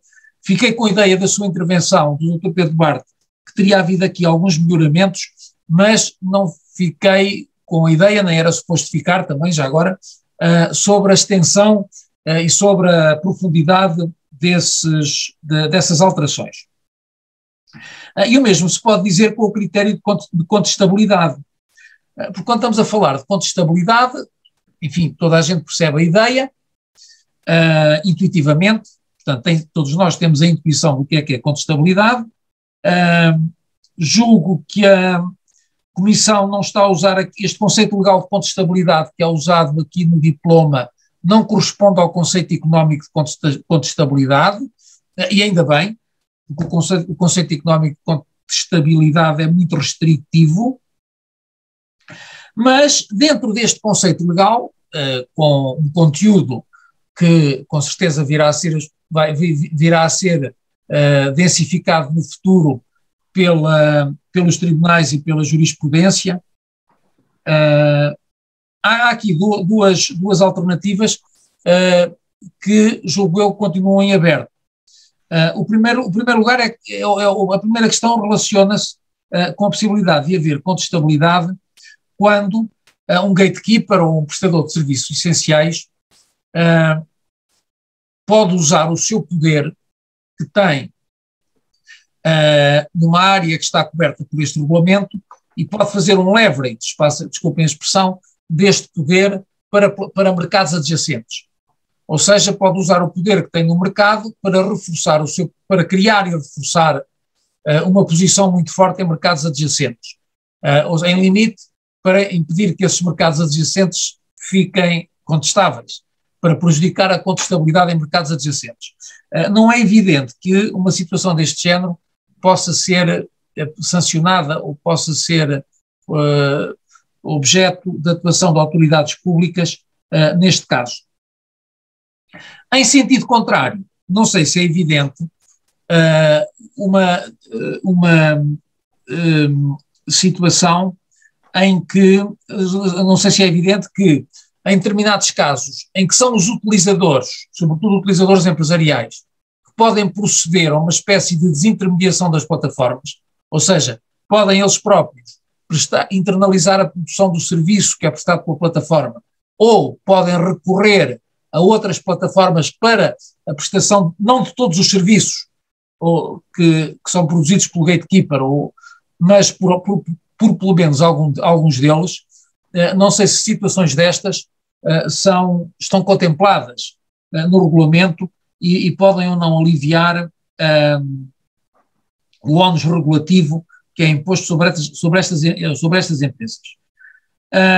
no mesmo sentido, eu, uma coisa que eu não, não consegui perceber, mas pode ser de facto só insuficiência minha, é se para, para ser eh, designado como um prestador de serviços essenciais é, é ou melhor, na integração de, de, de nos serviços que são prestados por um prestador de serviços essenciais, não é evidente para mim é, que só lá possam estar é, serviços de natureza bilateral. Uh, ou seja, só, só, lá possam estar uh, plataformas bilaterais. Por exemplo, serviços prestados em nuvem. Sem uma natureza bilateral, portanto, serviços unilaterais, que são prestados por uma plataforma bilateral, também podem ser cobertos por este regulamento. Uh, pode ser, enfim, falta ainda ou insuficiência minha na leitura do regulamento, mas não percebi ainda muito bem como é que isso vai funcionar. Depois, no sentido mais prático, uh, como utilizador, se eu tiver, quiser fazer uma queixa, queixo-me a quem? Uh, não sei se o, o, a versão inicial do regulamento julgo que não previa um mecanismo de queixa. Uh, e isto uh, julgo que era, que era, uma falha, quer dizer, um consumidor queixa-se a quem? Um utilizador empresarial queixa-se a quem? Um concorrente queixa-se a quem? O concorrente, se calhar, vai ter com a ADC. E depois a ADC há, de o encaminhar. Uh, mas esses, normalmente, sabem o que é que vão fazer. A maior parte dos utilizadores uh, empresariais, PMEs, queixam-se a quem? O utilizador comum. Uh, não sei, da intervenção do Dr. Pedro Barte, julgo que não referiu, não abordou muito isto, não sei se houve nesta matéria alguma, alguma alteração substantiva mas este parecer-me é que do ponto de vista do, do, do, enfim, de uma das coisas que se pretende normalmente com este tipo de regulação, que é proteger a parte mais fraca na relação comercial, uh, julgo que era uma área onde se, onde se poderia melhorar. Uh, uma outra área uh, em que se poderia, por exemplo, não sei se não era viável, se as tais instituições nacionais, as tais autoridades independentes nacionais, quais são independentemente da, das autoridades que venham a ser consideradas como tais para este, para este regulamento, eh, não sei se deveriam ser elas eh, que deviam receber as queixas e encaminhavam-nas para alguém da comissão, ou como é que essas queixas são resolvidas. Eh, por outro lado, não sei se, estão previstos ou como é que se prevê aqui neste caso o funcionamento de, de ADRs, de Alternative Dispute Resolution uh, de processos alternativos de resolução de disputas, de conflitos. Uh, pode também ser por insuficiente leitura minha, mas sinceramente não estou a ver como é que vai funcionar. Uh, é claro que nas outras, nas outras áreas da regulação setorial, ela, a resolução alternativa de conflitos nem sempre funciona bem. Mas eu aqui não sei se pode funcionar a nível nacional, não pode funcionar a nível nacional. a um nível mais formal, recorre-se para quem? O recurso de uma decisão da Comissão, isto agora já é mudando de assunto, Uh, mas o, o, agora, portanto, passando do papel das autoridades nacionais e do papel que as autoridades nacionais podem ter, na, quer a receber queixas, quer na promoção de processos alternativos de resolução de conflitos, uh, julgo que isso não está aqui contemplado. Seria contemplável, uh, foi discutido, uh, ou está contemplado e, e, sou eu que estou a perceber mal. Também não, percebi, não percebo muito bem como é que vai ser, como é que as empresas podem recorrer, qual é a jurisdição onde as empresas podem recorrer e podem apresentar recurso uh, de decisões. Uh, julgo que as decisões aqui serão todas da Comissão, não haverá aqui decisões das autoridades nacionais. Exceto, então recorre-se para quem? É, o, qual é a entidade, qual é o tribunal onde as empresas podem apresentar recurso? Uh, no caso do, da resolução alternativa de conflitos, uh, se houver recurso das decisões, vão funcionar tribunais nacionais ou não?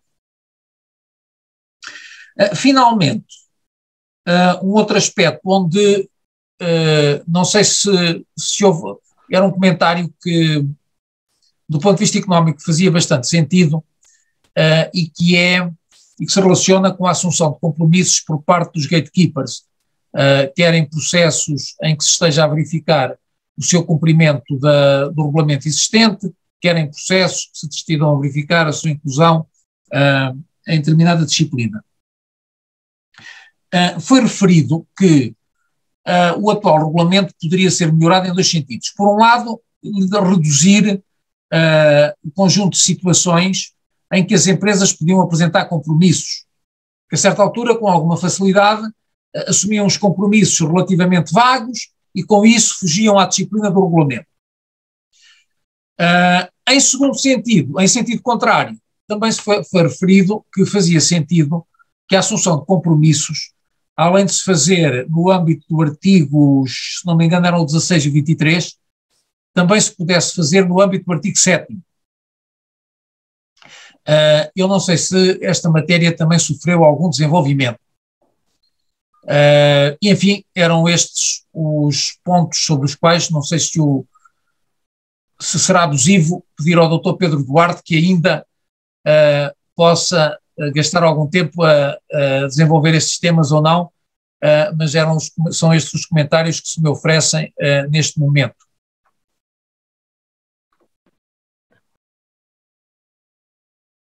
Pedro Duarte, não sei. Ah. Ainda, está, ainda está com tempo para dar as respostas ao, ao professor João Confraria ou deixaria isso para uma próxima oportunidade? Alguns tempo tenho, talento vamos ver. Uh, e poderei responder, tenho todo o gosto em responder a algumas. O professor, como era esperado, fez uma análise crítica de qualidade e, portanto, umas outras necessitarão de voltarmos uh, cá, uh, todos ou bilateralmente, para conversarmos um bocadinho. Poderei dizer uh, o seguinte sobre algumas questões de que tomei nota. Por exemplo, um, o direito de veto. A Comissão, ela própria não quis e também não tinha, não tinha espaço uh, para, não tinha muito espaço para querer porque o Conselho uh,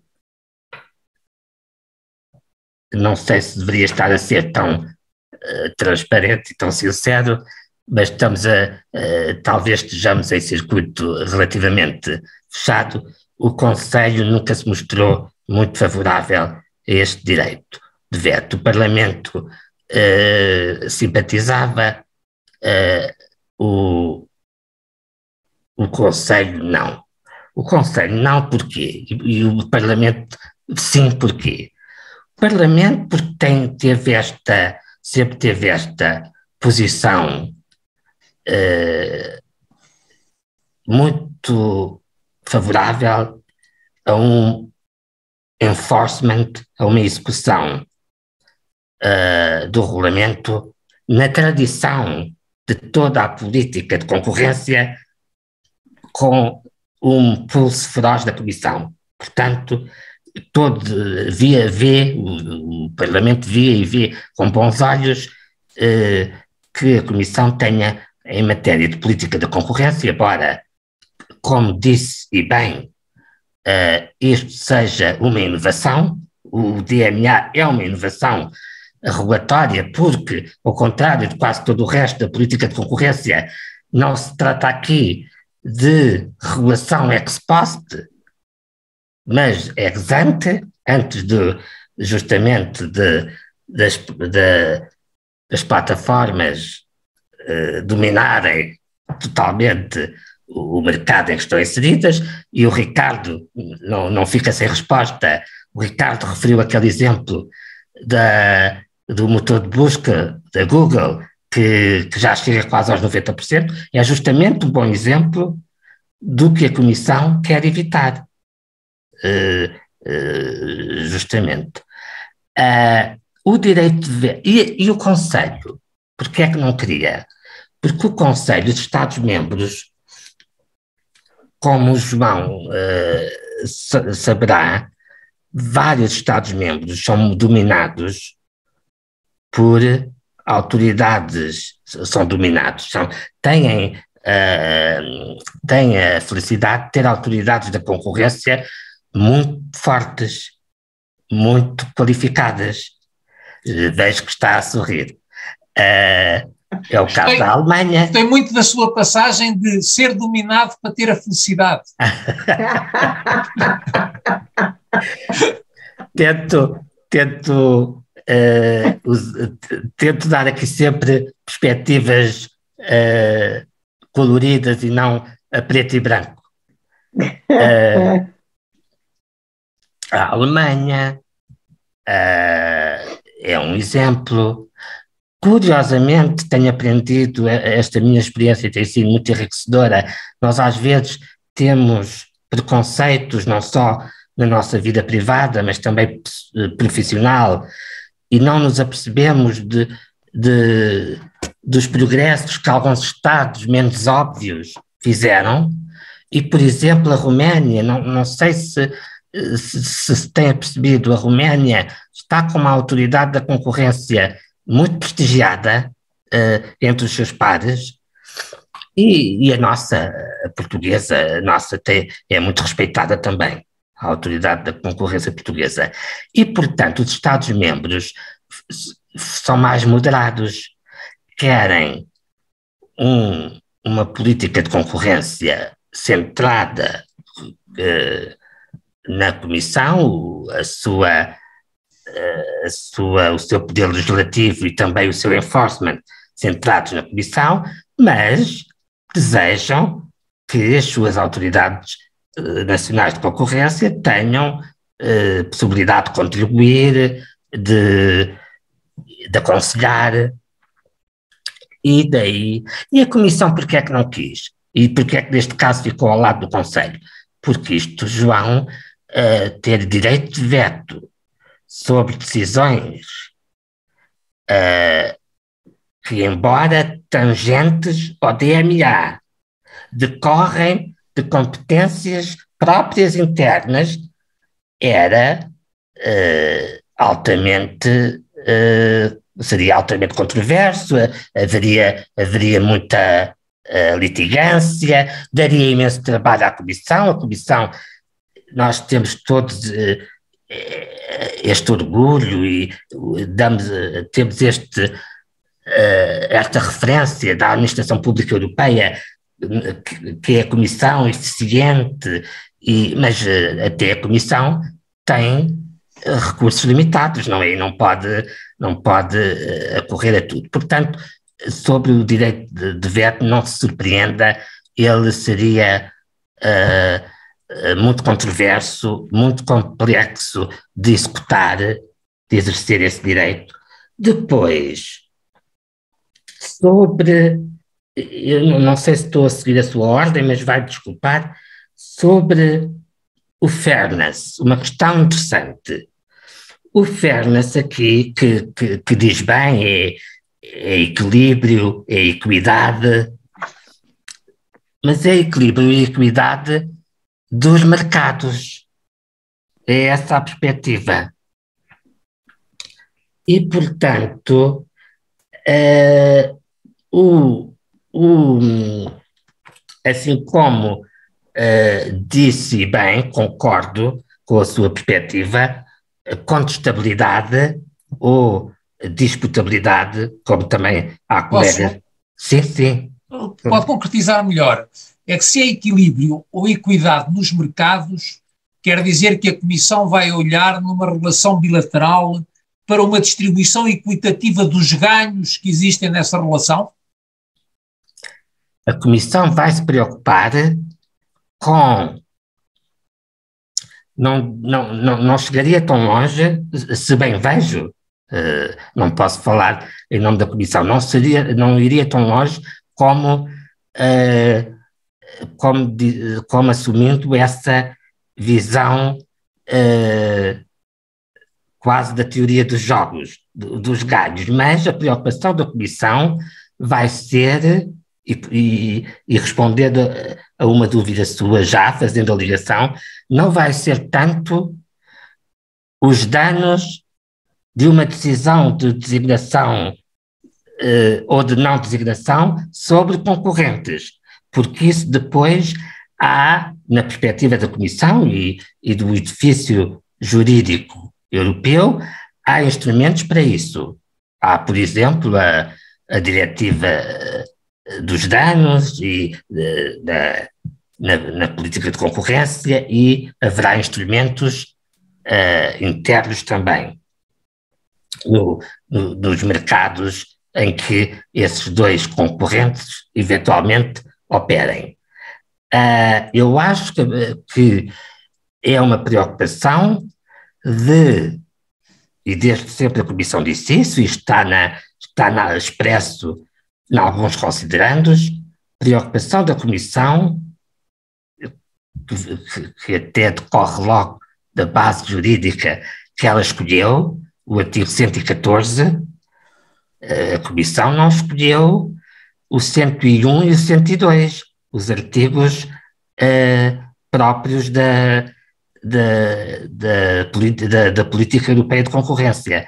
A Comissão escolheu, e os serviços jurídicos, quer, quer os seus, quer os do Conselho, deram-lhe razão, escolheu o 114, a harmonização de legislações para o bom funcionamento do mercado interno. João, portanto, eu acho, vamos ver, o, isto é tudo muito novo, teremos que dar 5 ou 10 anos para ver como é que isto vai funcionar e, e será um, uma década muito interessante, do, como a Maria Helena dizia, isto está a começar, será uma década muito interessante de acompanhar os assuntos digitais, mas a preocupação é, é claramente de funcionamento, de bom funcionamento do mercado. E, portanto, de equidade no mercado. Tanto que a Comissão também sempre disse sempre pediu cautela aos Estados-membros para não verem o DMA como um instrumento de política de, de, de, proteção do consumidor, porque isso é um side effect, isso é um efeito importante, claro, o consumidor está sempre no fim da, da atuação uh, legislativa, mas é um efeito indireto isto não é um instrumento de política de proteção do consumo, sempre repetiu a, a Comissão.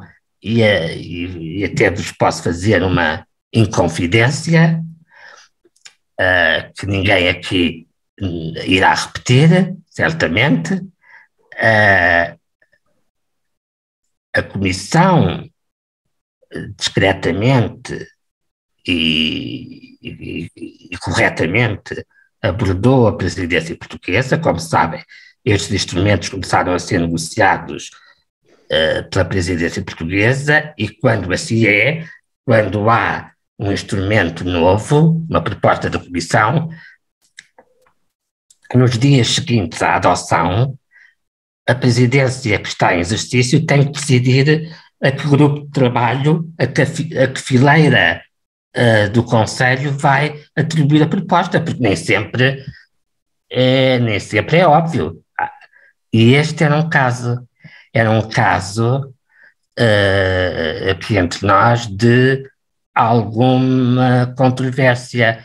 Uh, e a Comissão, por acaso, não foi preciso discutir muito o assunto, que era também a opinião, quer da Alemanha, que nos antecedeu, quer de Portugal e da Eslovénia, portanto, de todo o trio de presidências, a opinião era unânime, e a Comissão ficou muito agradada com isso, de que o DMA teria que ir para a fileira da concorrência, não para a fileira uh, da indústria ou do, ou do consumidor ou, ou, da, ou do telecom, que era também a, a quarta hipótese. Mais uh, mais uh, esclarecimentos ou, ou, opiniões que eu possa dar assim rapidamente, também não querendo, uh, estamos muito em cima da hora, não quero ser eu o, o dominador e então para usar a palavra que há bocado evitei, o dominador do debate. Uh, falava o João ah, do, dos recursos e das queixas. Isso é algo que não, que não está muito explanado no regulamento, tem toda a razão, mas eu creio que aí a prática vai ser muito idêntica ao do resto da política de concorrência.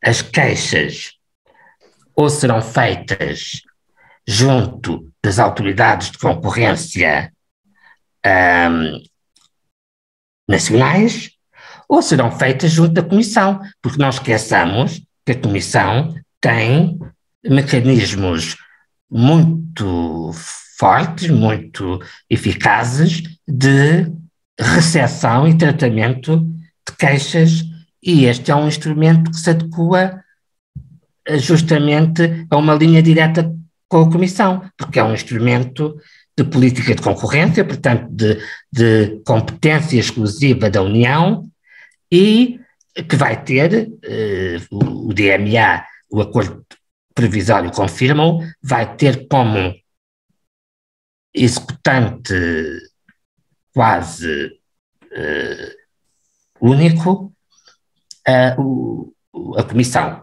Portanto, aqui julgo que não haverá novidades, a prática dirá que as pessoas, uh, os queixosos, abordarão as autoridades nacionais de concorrência ou os, um, os serviços da Comissão.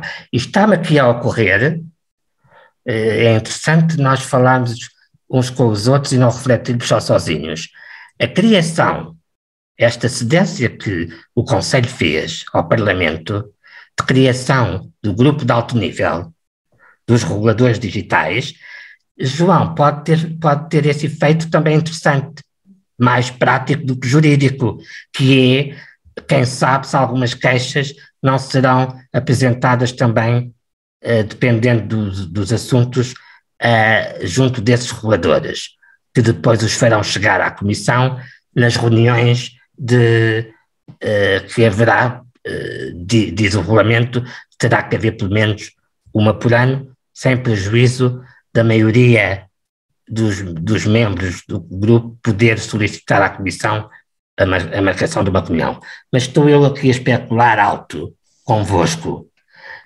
Um, a parte um, a parte do contenciosa também funcionará, uh, diria eu, como o resto da política de concorrência.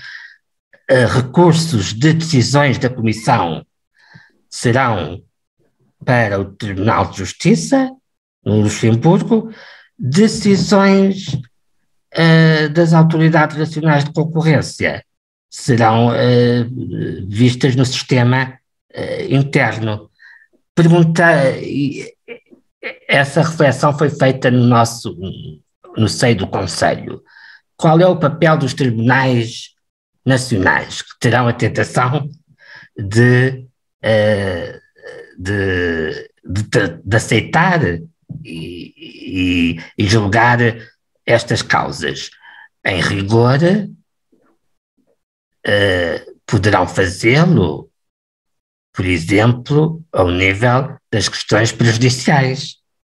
Sempre que numa causa interna, para, para que essa causa seja julgada, o tribunal tenha que esclarecer uma dúvida interpretativa, funciona como no, nos termos gerais, de direito da União, usa o mecanismo da questão prejudicial, do reenvio, o Luxemburgo esclarece a dúvida.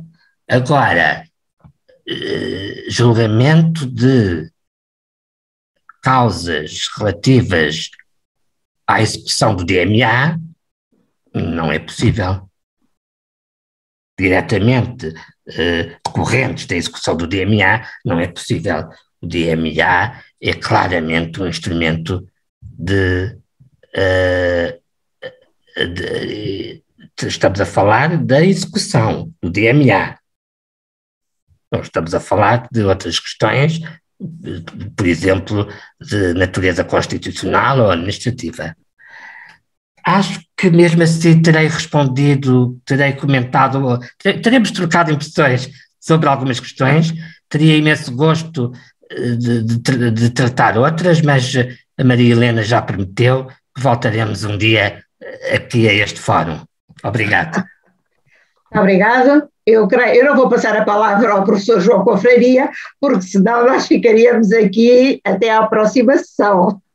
Muito obrigado, professor, pelas suas questões e muito obrigado ao Pedro Rodrigues Duarte. A mim compete-me, para além de agradecer uh, muitíssimo a presença de todas as pessoas que estiveram connosco, e foram, foram e ainda são uh, bastantes, eu gostaria de referir que estamos a pensar, o grupo, este grupo, este grupo de missão da APDSI, está a pensar desenvolver uma conferência, uma conferência sobre regulação digital, e cada vez mais isso é premente, uma vez que no ano de 2022 teremos o DMA na melhor das situações a ser implementado, e portanto não só com questões, questões já de esclarecimento, como as novas que vão surgir, e o DSA irá ser aprovado também em 2022, espera-se que seja aprovado e que siga o seu percurso para os passos seguintes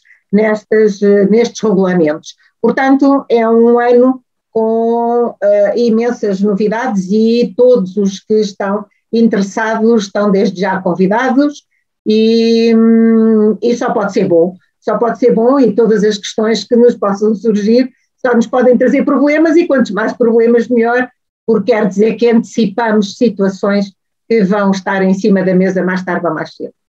Eu, uma vez mais, quero agradecer, quero agradecer a todos vós e, e aos nossos convidados. Bem-ajam e muito obrigado. E muito obrigado. E eu terminaria neste momento a sessão. Obrigado. Muito boa tarde. Obrigado.